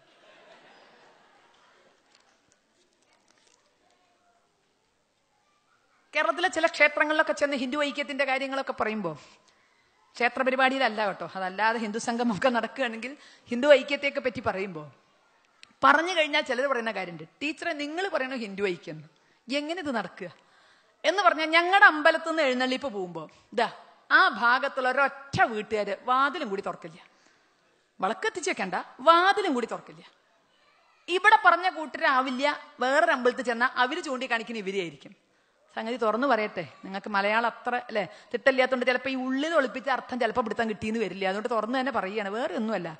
നായർ അമ്പലത്തിൽ നിന്ന് എഴുന്നള്ളി പോകുമ്പോൾ എന്തിനാ ഇഴവൻ വാതിൽ ഓർക്കണം? എന്തിനാ വിളക്ക് എത്തിക്കണം തിരിച്ച് ഈഴവന്റെ അമ്പലത്തിൽ നിന്ന് പോകുമ്പോൾ നായർ എന്തിനാ കത്തിക്കണേ? പൊലേന്റെ അമ്പലത്തിൽ നിന്ന് വരുമ്പോൾ രണ്ടു കൂട്ടരും തുറക്കണ്ട. അവരായി അവരുടെ പാടായി കൊട്ട് വാദ്യ ആറാട്ടോ. എന്താ വെച്ചാൽ നടന്നോട്ടെ പൊക്കോട്ടെ? ലോക സമസ്ത. സുഖിനോ ഭവന്തു. ഹിന്ദുവിന്റെ മനസ്സിൽ എല്ലാവർക്കും സ്ഥാനമുണ്ട്. വിശാലമായ വീക്ഷണം. ശശികൽ ടീച്ചർ അല്ല ഹിന്ദു. കുമരൻ രാജശേഖരൻ അല്ല ഹിന്ദു. അവരൊക്കെ വിഭാഗീയത പറയണവരാ. ഞങ്ങൾ അങ്ങനെയൊന്നല്ല ഓൾ ആർ മാത്തമാറ്റിക്സ് അല്ലെ വിശാലമായ വീക്ഷണം. പക്ഷേ ഇഴവന്റെ അമ്പലത്തിൽ നിന്ന് വരുമ്പോൾ ഞങ്ങൾ തുറക്കില്ല. നായർ വരുമ്പോൾ ഞങ്ങളും തുറക്കില്ല. പുലേന്റെ വരുമ്പോൾ ഞങ്ങൾ രണ്ടു കൂട്ടരും തുറക്കില്ല. ഞങ്ങൾ എന്തിനാ തുറക്കണേ? അതേസമയം അപ്പുറത്തെ പള്ളിയിലെ റാസ വരികയാണെങ്കിൽ നമ്മളെല്ലാവരും നായരും നമ്പൂരി ഈഴവനും പറയാൻ പാണനും പറയാനും തുറന്നു വളക്കെത്തിച്ചു സുഖായി ആ രീതി ശരിയാണ്. അവസാനം കാട്ടിയത് ശരിയാണ്. തെറ്റേ എന്ന് ഞാൻ പറയുന്നില്ല. കാരണം നമ്മെ സംബന്ധിച്ചിടത്തോളം സർവദേവ നമസ്കാരം കേശവം പ്രതിഗച്ഛതി. ആ വിശ്വാസം ഉള്ളത് കൊണ്ടാണ്. ആ വിശ്വാസം ഇന്ന് ഈ നാടിനുള്ളത് കൊണ്ടാണ് എല്ലാവരെയും ഇവിടെ ഉൾക്കൊള്ളുന്നത്. ആ വിശ്വാസം ഇന്നിവിടെ ഉള്ളത് കൊണ്ടാണ് ചിലരൊക്കെ തലകുത്തി നിന്നിട്ടും ഞങ്ങളുടെ ഒന്നും വിസ നിഷേധിക്കാതെ ഈ രാഷ്ട്രം ഞങ്ങളെ ഇങ്ങോട്ട് കൊണ്ടുവന്നത്. ആ വിശ്വാസം ഇന്നും ഇവിടെയുണ്ട്. ആരേത് ആരാധനയും എന്ത് പറഞ്ഞാലും അതെല്ലാം നന്മയിലേക്ക് പോകൂ എന്ന് ഇന്ന് ഈ നാട് വിശ്വസിക്കുന്നതുകൊണ്ടാണ് ഞങ്ങൾ ഇവിടെ എത്തിയത്. അപ്പൊ നമ്മുടെ വിശ്വാസം അതുകൊണ്ട് അതുപോലെ തന്നെ ആ നാട്ടിലേക്ക് വന്ന ആരുടെയും ആരാധന നമ്മൾ ചോദിച്ചിട്ടില്ല. ഗ്രന്ഥമേതയെന്ന് നമ്മൾ ചോദിച്ചിട്ടില്ല. മണ്ണും മനസ്സും പകുത്തു കൊടുത്തു. അപ്പൊ ഈ കാണിച്ച ഹൃദയ വിശാലത വളരെ നല്ലതാണ്. പള്ളിയുടെ എഴുന്നള്ളിപ്പ് പോകുമ്പോൾ വാതിൽ തുറക്കണം പറ്റി കത്തി. പക്ഷെ എന്തേ ആ വിശാലത അവനവന്റെ സഹോദരങ്ങളോട് കാണിക്കാത്തത്? ഇതേ വിശ ഈ വിശാലതയ്ക്ക് ഇവിടെ മാത്രമേ അർത്ഥമുള്ളൂ. ആക്കാൻ കഴിയില്ല. നമുക്കിങ്ങനെ പറയാം ഹിന്ദു ഐക്യം ഹിന്ദു ഐക്യം. ഈ വർഷത്തിനൊരു പ്രത്യേകത ഉണ്ട് ചിന്മയാനന്ദ സ്വാമിയുടെ ശതാബ്ദി ആഘോഷിക്കുന്ന വർഷമാണിത്. ചിന്മയാനന്ദ സ്വാമി പറഞ്ഞൊരു ഉദാഹരണമുണ്ട് പനി വന്ന പാരസെറ്റമോൾ പാരസെറ്റമോൾ എന്ന് ജപിച്ചിട്ട് കാര്യമില്ല അത് കഴിച്ചിട്ടേ കാര്യമുള്ളൂ എന്ന് അത് കഴിച്ചാലല്ലേ പനി മാറുള്ളൂ അല്ലാതെ പാരസെറ്റമോൾ പാരസെറ്റമോൾ എന്ന് മരുന്നിന്റെ പേര് ഇങ്ങനെ ജപിച്ചിട്ട് യാതൊരു കാര്യമില്ല അതുപോലെ ഹിന്ദു ഐക്യം ജപിച്ചിട്ടൊരു കാര്യമില്ല അതിനെ പ്രാവർത്തികമാക്കണമെങ്കിൽ ഭാവാത്മകമായ നടപടികൾ ആവശ്യമാണ്. ഇത് അത്തരം ഭാവാത്മകമായ നടപടികളിൽ ഒന്നാണ്. പരസ്പരം സഹായി പരസ്പരം സഹകരിക്കുക ആദ്യത്തെ വക്ക്. സഹായിക്കാൻ കഴിഞ്ഞില്ലെങ്കിലും സഹകരിക്കാം നമുക്ക്. വേദി ഓരോരുത്തരുടെ പരിപാടികളിലും മറ്റുള്ളവർ കൂടി ചെല്ലുമ്പോൾ അത് നമ്മൾ മാനസികമായ ഒരു ഐക്യത്തിന് വരുന്നു. അപ്പൊ ഇവിടെ പല സ്ഥലങ്ങൾ ഇവിടെ പ്രാദേശികമായ വ്യത്യാസമായിരിക്കാം. പല പ്രദേശങ്ങളിലെ ഹൈന്ദവ സമാജങ്ങൾ ഇവിടെ ഒന്നിച്ചു വരുന്നു ഹിന്ദു എന്ന ഐഡന്റിറ്റിയുടെ പുറത്ത്. അതൊരു ഐക്യത്തിന്റെ ഭാഗമാണ്. അപ്പൊ അങ്ങനെ ഐക്യത്തിനുതകുന്ന ഭാവാത്മകമായ നടപടികൾ ക്ഷേത്ര കേന്ദ്രീകൃതമായി നടത്താൻ നമുക്ക് സാധിച്ചാൽ കാലാതിവർത്തിയായി ഇത് ഹൈന്ദവ ക്ഷേത്രമായി നിലനിൽക്കും. ഒരാൾക്കും എതിരെയുള്ള ഒരു നട ആർക്കും എതിരെ ഒന്നും പറയണ്ട. പക്ഷെ ഹിന്ദു ധർമ്മം അതിന്റെ വിശാലത. അത് പഠിപ്പിക്കാനും ഉൾക്കൊള്ളാനും ആചരിക്കാനും ഒക്കെ നമുക്ക് കഴിയണം. ക്ഷേത്രങ്ങളാണ് ഹിന്ദു നവോത്ഥാന കേന്ദ്രങ്ങൾ എന്ന് അറിയുന്നവരായിരുന്നു ഈ ഇരിക്കുന്ന ആചാര്യന്മാർ. ഇതല്ല ഇതിലപ്പുറവും ഉണ്ട്. കാരണം കേരളത്തിലെ ഹൈന്ദവ നവോത്ഥാനം ക്ഷേത്ര കേന്ദ്രീകൃതമായിരുന്നു. ജാതീയമായ ഉച്ചനീചിത്വങ്ങളിൽപ്പെട്ട് തളർന്ന് തകർന്നു പോയ ഹൈന്ദവ സമാജത്തെ വീണ്ടെടുക്കാനുള്ള പരിശ്രമം നമ്മുടെ ആചാര്യന്മാർ നടത്തിയത് നമ്മളെ ക്ഷേത്രത്തിലേക്ക് നയിച്ചിട്ടാണ്. വൈക്കം സത്യാഗ്രഹം ക്ഷേത്ര നിരത്തുകൾ തുറന്നു കിട്ടാൻ വേണ്ടിയായിരുന്നു. ക്ഷേത്ര നിരത്തുകൾ എല്ലാവർക്കും നടക്കണം. എല്ലാ ജാതിയിൽപ്പെട്ടവർക്കും നടക്കണം. സമരം നടത്തിയത് രാഷ്ട്രീയക്കാരല്ല. സമരം നടത്തിയത് ഹൈന്ദവ സമാജമാണ്. തെറ്റിദ്ധരിക്കരുതേ. പല സ്ഥലത്തും പല ചുമരെഴുത്തുകളൊക്കെ കാണാം. കാര്യം അന്നത്തെ സ്വാതന്ത്ര്യ സമര പ്രസ്ഥാനമായ ഇന്ത്യൻ നാഷണൽ കോൺഗ്രസിന്റെ നേതൃത്വത്തിൽ അത് നടന്നു. അത് നടത്തിയത് ഹൈന്ദവ സമാജമാണ്. കാരണം ആ സമരത്തിൽ പങ്കെടുക്കുന്നവൻ ഒരു പ്രതിജ്ഞ ചെയ്യണമായിരുന്നു ഞാനൊരു ഹിന്ദുവാണ്. ശ്രീനാരായണ ഗുരുദേവനാണ് ആ പ്രതിജ്ഞ പറഞ്ഞു കൊടുത്തത്. ഞാനൊരു ഹിന്ദുവാണ്. ഞാനൊരു രാഷ്ട്രീയക്കാരനാണെന്ന് പറഞ്ഞിട്ടല്ല. ഹൈന്ദവ സമാജത്തിലെ മൂന്ന് വിഭാഗം. ഉന്നതൻ എന്ന് പറയുന്നവൻ നടുക്ക് നിൽക്കണം ഏറ്റവും താഴെ എന്ന് അന്ന് പറയുന്നവർ. മൂന്നിലെയും ഓരോ പ്രതിനിധികളായിരുന്നു അന്ന് ആ സമരം നടത്തിയിരുന്നത്. അപ്പോൾ നമ്മൾ ഒരുമിച്ച് ക്ഷേത്ര നിരത്തുകൾ തുറന്നു കിട്ടി. നടക്കാൻ ഒരു ബുദ്ധിമുട്ടും ഇല്ലാതെ മറ്റേ സവർണർക്ക് നടക്കാൻ ഒരു ബുദ്ധിമുട്ടും ഇല്ലാതിരുന്നിട്ടും സവർണ ജാഥ പോയി എല്ലാവരെയും കയറ്റണം എന്ന് പറഞ്ഞുകൊണ്ട്. അതൊക്കെ അതിന്റെ ഏറ്റവും നല്ല നല്ല വശങ്ങളാണ്. ഈ രണ്ടായിരത്തി പതിനഞ്ചിന് മറ്റൊരു പ്രത്യേകതയുണ്ട്. പെരുന്നാട് കലാപത്തിന്റെ പെരുന്നാട് സംഭവത്തിന്റെ ശതാബ്ദിയാണ്. ജാതീയമായ ചിഹ്നങ്ങൾ ധരിച്ചിരുന്ന പുലയ സമൂഹം. മേലിലത് ധരിക്കില്ല എന്ന് പറഞ്ഞ കൊയ്ത്തരിവാൾ കൊണ്ട് കഴുത്തിൽ ധരിച്ചിരുന്ന കല്ലേയും മാലയും അറത്തു തള്ളിയ ആ ആയിരത്തി തൊള്ളായിരത്തി പതിനഞ്ചിന്റെ നൂറാം വർഷമാണ്. അതിന്റെ നന്മ എന്താണെന്നറിയോ? ആ ചടങ്ങിൽ അവർ വിളിച്ചിരുന്നത്. പുലയ സമൂഹത്തിന്റെ പ്രതിനിധികൾ അതിൽ അധ്യക്ഷനായിരിക്കാൻ വിളിച്ചിരുന്നത് എൻ എസ് എസിന്റെ സംസ്ഥാന പ്രസിഡന്റിനെ ആയിരുന്നു എന്നുള്ളത്. നമുക്ക് തരാനൊരു സന്ദേശം അവിടെയുണ്ട്. നമ്മളൊന്നും വേറെയല്ല. എല്ലാവരും ഒന്ന് അങ്ങനെ വൈക്കം ക്ഷേത്ര നിരത്തിലെത്തി. അടുത്തത് ഗുരുവായൂർ അകത്ത് കിടക്കാനാണ്. ആദ്യം നിരത്തി കടന്നു പിന്നെ അകത്തേക്ക് കടന്നു. മുപ്പത്തിയാറിൽ ക്ഷേത്രപ്രവേശന വിളംബരവും നടന്നു. അതുവരെ ഓക്കെ ഹൈന്ദവ നവോത്ഥാനം. പക്ഷെ പിന്നെയാണ് സംഗതി പാളം തെറ്റി ഓടിയത്. എല്ലാരും മുപ്പത്താറിൽ ഓ അകത്തേക്ക് ഓട്ടിക്കയറ്റി പിന്നെ നമ്മൾ കേൾക്കണ അമ്പലം വേണ്ടാന്നാ. എന്തിനാ അമ്പലം? ഇതിനായിരുന്നു നമ്മൾ അകത്ത് ഓടിക്കേറിയത്? പിന്നെ കേരളത്തിൽ മുഴങ്ങണത് അമ്പലം എന്നാൽ എന്നാൽ ചുമരല്ലേ വിഗ്രഹം എന്നത് കല്ലല്ലേ? അമ്പലം പൊളിച്ച് കപ്പ നടണം അമ്പ പിന്നെ അമ്പലമേ വേണ്ട. മുപ്പത്താറിൽ അങ്ങോട്ട് കൂടി. നാൽപ്പത് തൊട്ട് നമ്മൾ കേൾക്കണ അമ്പലം വേണ്ട. ആചാരവും വേണ്ട. നമുക്കിന്നൊരു സന്ധ്യാനാമം പോലും ഇല്ല. കാരണം എന്തുകൊണ്ട്? കഴിഞ്ഞ പത്ത് നാൽപ്പത് കൊല്ലമായിട്ട് നമുക്ക് നാണമായിരുന്നു അതൊക്കെ പറയാൻ നാമം ചെല്ലുക എന്നൊക്കെ പറഞ്ഞാൽ അങ്ങനെ നമ്മളെ മാത്രം ആചാരങ്ങളെ വലിച്ചെറിയിപ്പിച്ചു. ബാക്കിയുള്ളവരൊക്കെ അവരുടെ ആചാരങ്ങളിൽ ഉറച്ചു നിന്നപ്പോൾ നമ്മൾ പലതിന്റെയും പേരിൽ ആചാരങ്ങൾ വലിച്ചെറിഞ്ഞു. ഒരു വീട്ടമ്മ റേഷനരി വാങ്ങിച്ചോണെന്ന ഒരു സംഭവം കേട്ടിട്ടുണ്ട്. റേഷനരി പുഴുക്കല്ലരിയായിരുന്നു അത്രേ. അറിയാലോ? പുഴുണ്ട് കല്ലുണ്ട് നെല്ലുണ്ട് അരിയുണ്ട്. ഇത് വെക്കണമെങ്കിൽ പെറുക്കണം. അവർ മുറത്തിലേക്ക് കൊട്ടി കണ്ണാടയൊക്കെ ഇട്ടു ഉമ്മറത്ത് പോയിരുന്നു അതിൽ രാശി വരയ്ക്കാൻ തുടങ്ങി. ആദ്യം കിട്ടിയ പുഴുവിനെടുത്ത് അങ്ങോട്ട് ഇട്ടു പിന്നെ അടുത്ത കല്ല് ഇങ്ങോട്ട് എടുത്തു. അപ്പോഴേക്കും അവരുടെ കുട്ടി ഒന്ന് കരഞ്ഞു. കുട്ടി കരഞ്ഞപ്പോൾ മൂത്ത മകളെ വിളിച്ചു. എടി ഇതൊന്ന് പെറുക്ക്. ഞാൻ പോയി ആ കുട്ടിയൊന്ന് എടുക്കട്ടെ പറഞ്ഞു. വേഗം വേണട്ടോ എന്ന് പറഞ്ഞു. ഞാൻ വേഗം ചെയ്യും. അമ്മ എന്നെ അമ്മ എത്ര നേരമായി രാശി വരച്ചുകൊണ്ടിരിക്കുന്നു എന്റെ അപ്പളെ തന്നിരുന്നു. ഞാൻ ഒരു ഒറ്റ മിനിറ്റ് കൊണ്ട് പണി കഴിച്ചു തന്നിരുന്നു പറഞ്ഞു മകൾ. അപ്പൊ അമ്മ പറഞ്ഞു നീ എന്തെങ്കിലും ചെയ്യാന്ന് പറഞ്ഞാൽ ആ മുറ കൊടുത്തു. അമ്മ പോയി. അമ്മടെ നീ മൊറണ്ട് വാങ്ങി. മകൾ വീശി ഒരൊറ്റ ഏറെ തൊടിയിലേക്ക്. എന്റെ കാട്ടി അവൾ വിചാരിച്ചത് അമ്മ എന്താ ചെയ്യണേ? ഇതിലുള്ള ഓരോന്നെടുത്ത് പെറുക്കി ഇങ്ങനെ പുറത്തേക്ക് ഇടുക. ഇത്ര പാടുണ്ടോ? ഈ മുറത്തോടെയാണ് വലിച്ചെറിഞ്ഞാൽ പണി കഴിഞ്ഞില്ലേ? ഇതുപോലെ ചട്ടമ്പി സ്വാമികൾ ശ്രീനാരായണ ഗുരുദേവൻ അയ്യ വൈകുണ്ഠസ്വാമി മന്നത്ത് മന്നത്ത് പത്മനാഭൻ ശങ്കർ ഇങ്ങനെ അയ്യ മഹാത്മാ അയ്യങ്കളി ഇവരൊക്കെ ഹിന്ദുക്കളിലെ അനാചാരങ്ങൾ പെറുക്കുമായിരുന്നു ഓരോന്ന് ഓരോന്നായി പെറുക്കി പെറുക്കി അവർ ഉള്ള അരി സംരക്ഷിക്കാനാണേ. ഉള്ള ആചാരം സംരക്ഷിക്കാത്തിട്ട് അവർ പുറപ്പെട്ട്. പക്ഷേ ആയിരത്തി തൊള്ളായിരത്തി നാൽപ്പതുകളായപ്പോഴേക്കും ഇവരുടെ നിന്നൊക്കെ ഈ മുറം വേറെ ആരോ വാങ്ങ ഇപ്പ ശരിയാക്കി തരാന്ന് പറഞ്ഞ ഒരൊറ്റ ഏറാ തൊടിയിലേക്ക്. മുറത്തോടുകൂടി അതുകൊണ്ട് ആചാരമില്ല അനുഷ്ഠാനമില്ല. ഇപ്പൊ പുറത്തുനിന്ന് തപ്പിക്കൊണ്ടെന്റെ ഗതികേട്. അത് എളുപ്പമല്ല പുറത്തുനിന്ന് ഓരോ അരിമണിയായിട്ട് എടുത്തു കൊണ്ടുവന്ന് ആചാരം സംരക്ഷിക്കാൻ പോവുകയാണ്. ഇത്തിരി ശ്രമകരമായ പണിയാണ്. പക്ഷേ നമുക്ക് സാധിക്കും എന്നുറപ്പാണ്. സാധിക്കണം. അത് നമുക്ക് വേണ്ടിയല്ല ലോകത്തിന് വേണ്ടിയാണ്. ഹിന്ദു ഹിന്ദുവായി നിൽക്കുന്നത് ലോകത്തിന് വേണ്ടിയാണ് കാരണം ചിന്തിക്കൂ ലോകത്ത് തീരെ സുരക്ഷിതമല്ലാത്ത പത്ത് രാജ്യങ്ങളുടെ പട്ടിക സഞ്ചാരികളായ നിങ്ങൾ ശ്രദ്ധിച്ചിട്ടുണ്ടാകും. ഇറാഖിൽ തുടങ്ങി ഈജിപ്തിൽ അവസാനിക്കുന്നു. കാരണം നിങ്ങൾ പറ്റിയ പോണ്ടാന്ന് പറയാനാണ്. ഇപ്പൊ യമനിൽ നിന്നൊക്കെ ഒഴിച്ചു കൊണ്ടുവരാൻ ഇത്തിരി പാടുപെട്ടു ഭാരത സർക്കാരൊക്കെ. അപ്പൊ അതുപോലെയൊക്കെ നിങ്ങൾ പറ്റുമെങ്കിൽ പോവാണ്ടിരിക്കണം എന്ന് പറയാനായിരിക്കാം. ഇറാഖ് മുതൽ ഈജിപ്ത് വരെ നീളുന്ന പത്ത് രാജ്യങ്ങളുടെ പട്ടിക ഇട്ടു. അതിൽ നമ്മുടെ സഹോദര രാജ്യമായ പാകിസ്ഥാനുണ്ട് ധാർമ്മിക ഭൂമിയായ അഫ്ഗാനിസ്ഥാനുണ്ട് എല്ലാമുണ്ട് ഇറാഖിൽ തുടങ്ങി ഈജിപ്തിൽ അവസാനിക്കുന്നു. ഏതാ ഇറാഖ്? പ്രസിദ്ധമായ മെസപ്പൊട്ടേമിയയുടെ മണ്ണ്. ഏറ്റവും പുരാതന സംസ്കൃതികളിൽ ഒന്നായ മെസപ്പൊട്ടേമിയയുടെ മണ്ണ്. അവിടെ ഇന്ന് തോക്കുകൾ കഥ പറയുന്നു. അവസാനത്തിൽ നിൽക്കുന്ന ഈജിപ്ത് ഏതാ? അതേ കാലത്ത് തലയുയർത്തിപ്പിടിച്ചിരുന്ന ഈജിപ്ഷ്യൻ നാഗരികതയുടെ മണ്ണ്. പാകിസ്ഥാനും അഫ്ഗാനിസ്ഥാനും ഏത്? വേദമന്ത്രങ്ങൾ പിറന്നു വീണ പുണ്യഭൂമി. വേദമന്ത്രങ്ങൾ പിറന്നത് ഗംഗാതീരത്തല്ല. സപ്ത സിന്ധുക്കളുടെ തീരത്ത് അത് പാകിസ്ഥാനില്ല ആ വേദമന്ത്രങ്ങൾ പിറന്നു വീണ പുണ്യഭൂമിയിൽ നിന്ന് തോക്കുകൾ കഥ പറയുന്നു. നൂറ്റിനാൽപ്പത്തിയൊന്ന് കുട്ടികളുടെ തലച്ചോറിലേക്ക് പെഷവാറിൽ വെടിയുണ്ടകൾ കയറി. കാരണം എന്തേ ഇവിടെ നിന്നൊക്കെ ഇറാഖിൽ നിന്നാകാം പാകിസ്ഥാനിൽ നിന്നാകാം അഫ്ഗാനിസ്ഥാനിൽ നിന്നാകാം ഈജിപ്തിൽ നിന്നാകാം. അവിടുത്തെ പ്രാചീന സംസ്കൃതി തുടച്ചു നീക്കപ്പെട്ടു. വിശ്വാസങ്ങൾ മാറ്റപ്പെട്ടു. എല്ലാത്തിനെയും ഉൾക്കൊള്ളുന്ന ഒരു വിശ്വാസം ഉണ്ടായിരുന്നു. അതിന്റെ ഭാഗമാണ് ബഹുദൈവ ആരാധനയ്ക്ക്. ദൈവങ്ങളുടെ എണ്ണല്ല. എല്ലാറ്റിനെയും ഉൾക്കൊള്ളാം. ഏത് ആചാരത്തെ ഉൾക്കൊള്ളാം. നിങ്ങൾ തലയും കുത്തി നിന്ന ആചാരത്തിൽ ഒരു കുഴപ്പമില്ല. നിങ്ങളുടെ തലയല്ലേ? ഒരു ഹിന്ദു ആചാര്യനും തെറ്റെന്ന് പറയില്ല. ഞാൻ ദിവസവും രാവിലെ തലയും കുത്തി നിന്നിട്ടാണ് ദൈവത്തിന്റെ തല വേദനിക്കുമ്പോൾ നിർത്തിക്കൊള്ളുന്ന നമുക്ക് നല്ല ഉറപ്പുള്ളതുകൊണ്ട് തല കുത്തി നിന്ന് പ്രാർത്ഥിക്കേണ്ട നമ്മൾ പറഞ്ഞിട്ടില്ല. കിഴക്കോട്ട് തിരിഞ്ഞിട്ടാവാം പടിഞ്ഞാട്ട് തിരിഞ്ഞിട്ടാവാം ഇനി വട്ടത്ത് തിരിഞ്ഞിട്ടാണോ? ഒരാക്ഷേപവും ഇല്ല. അതാണ് എല്ലാറ്റിനെയും ഉൾക്കൊള്ളാനുള്ള മനസ്സ്. ആ മനസ്സുണ്ടായിരുന്നു ഇറാഖിന് മെസപ്പൊട്ടേമിയയ്ക്ക്.